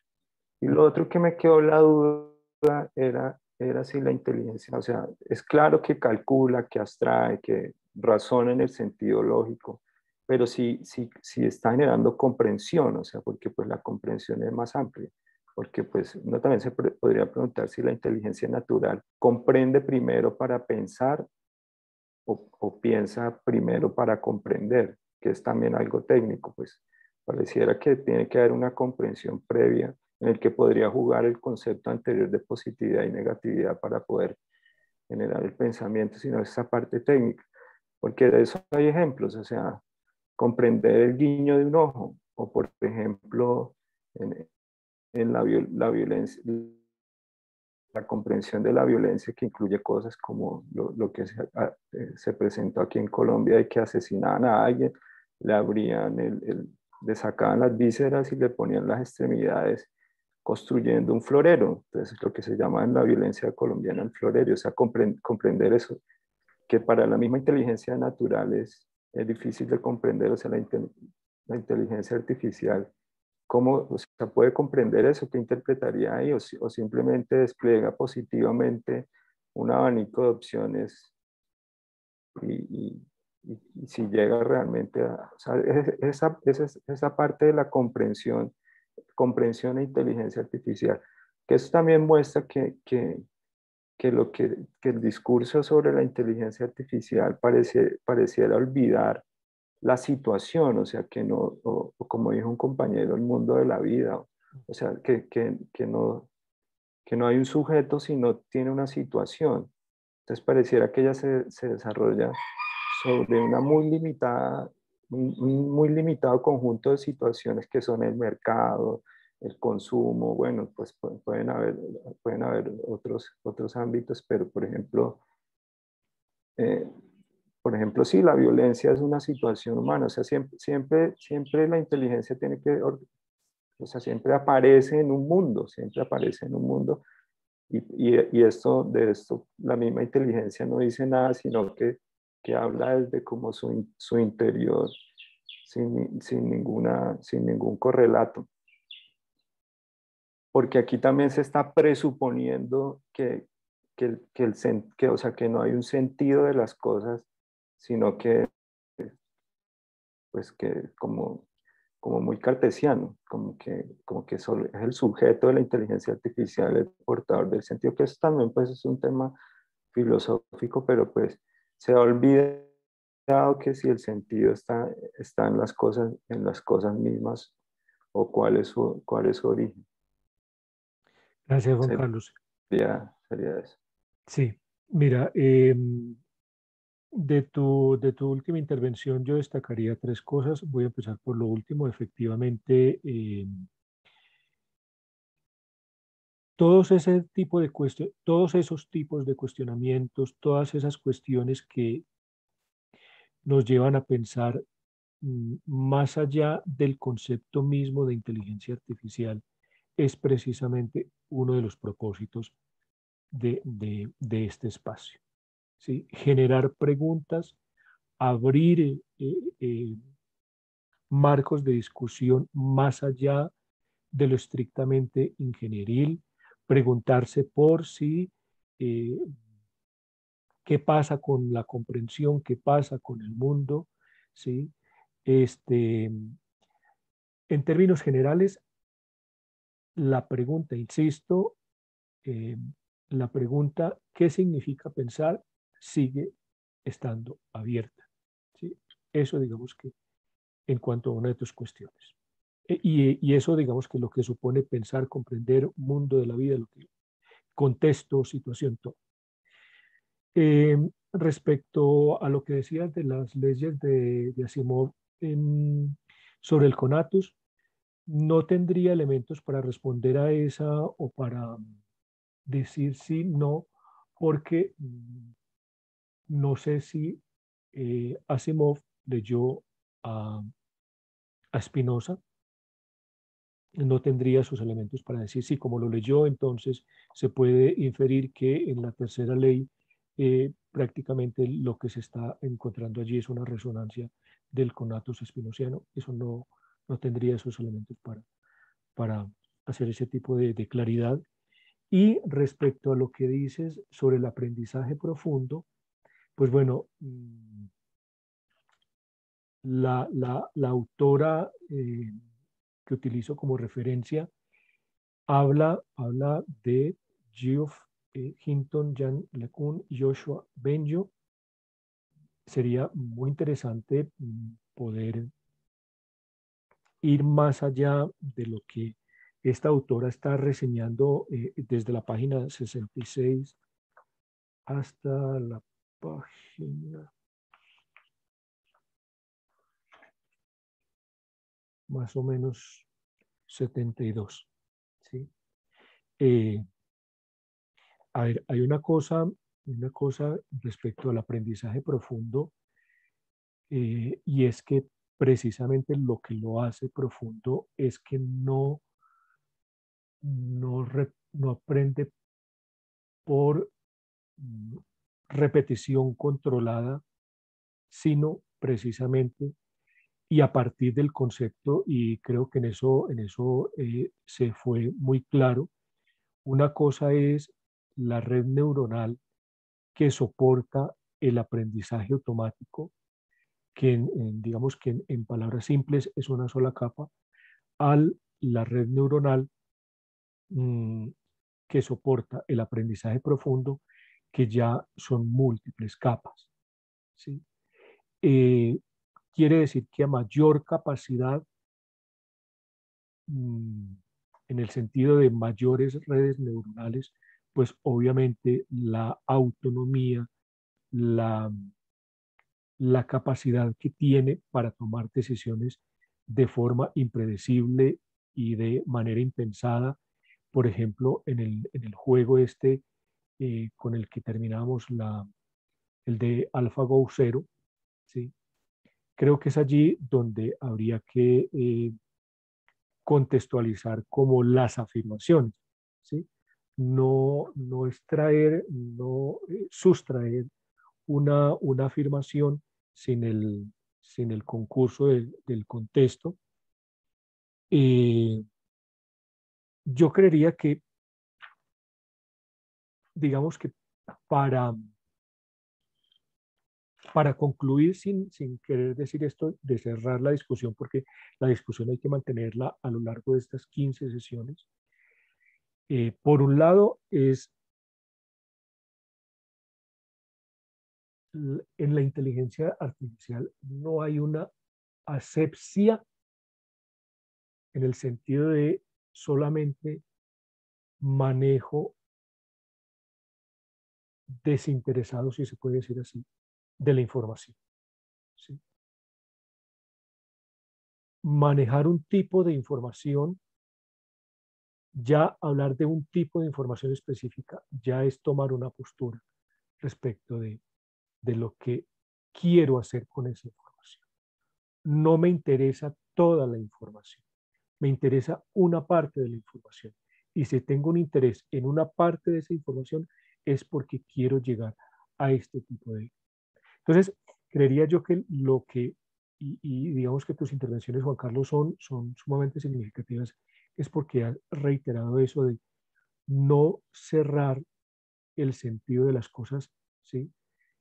Eh, mantener la discusión y, y, por tanto creería yo que una conclusión fundamental de esta, de esta sesión y que nos tendría que mantener en la disposición es precisamente a no, a no dar por verdad solamente una, un asunto, una, una dimensión, una, una arista de la realidad, que hay que, hay que seguirla, Armando, que hay que seguirla eh, relacionando, que hay que seguirla revisando, que hay que seguirla repensando. Entonces, pues nada, se nos fueron tres horas eh, muy interesantes. Eh, muchas gracias por, por la atención, por la asistencia, por las intervenciones.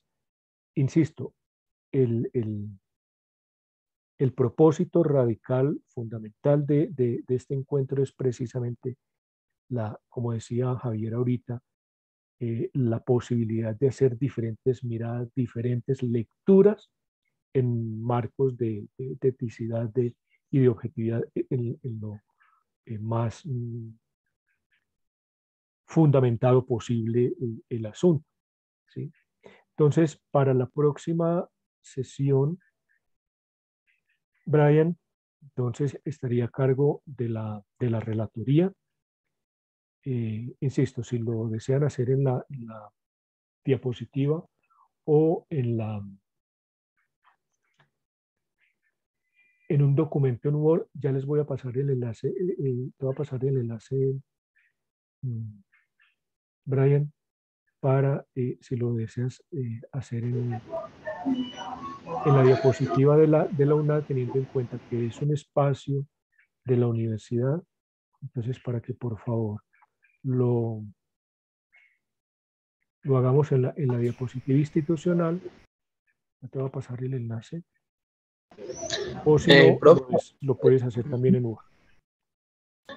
Eso sí, si no hay ningún inconveniente, me siento más cómodo haciéndolo en un documento.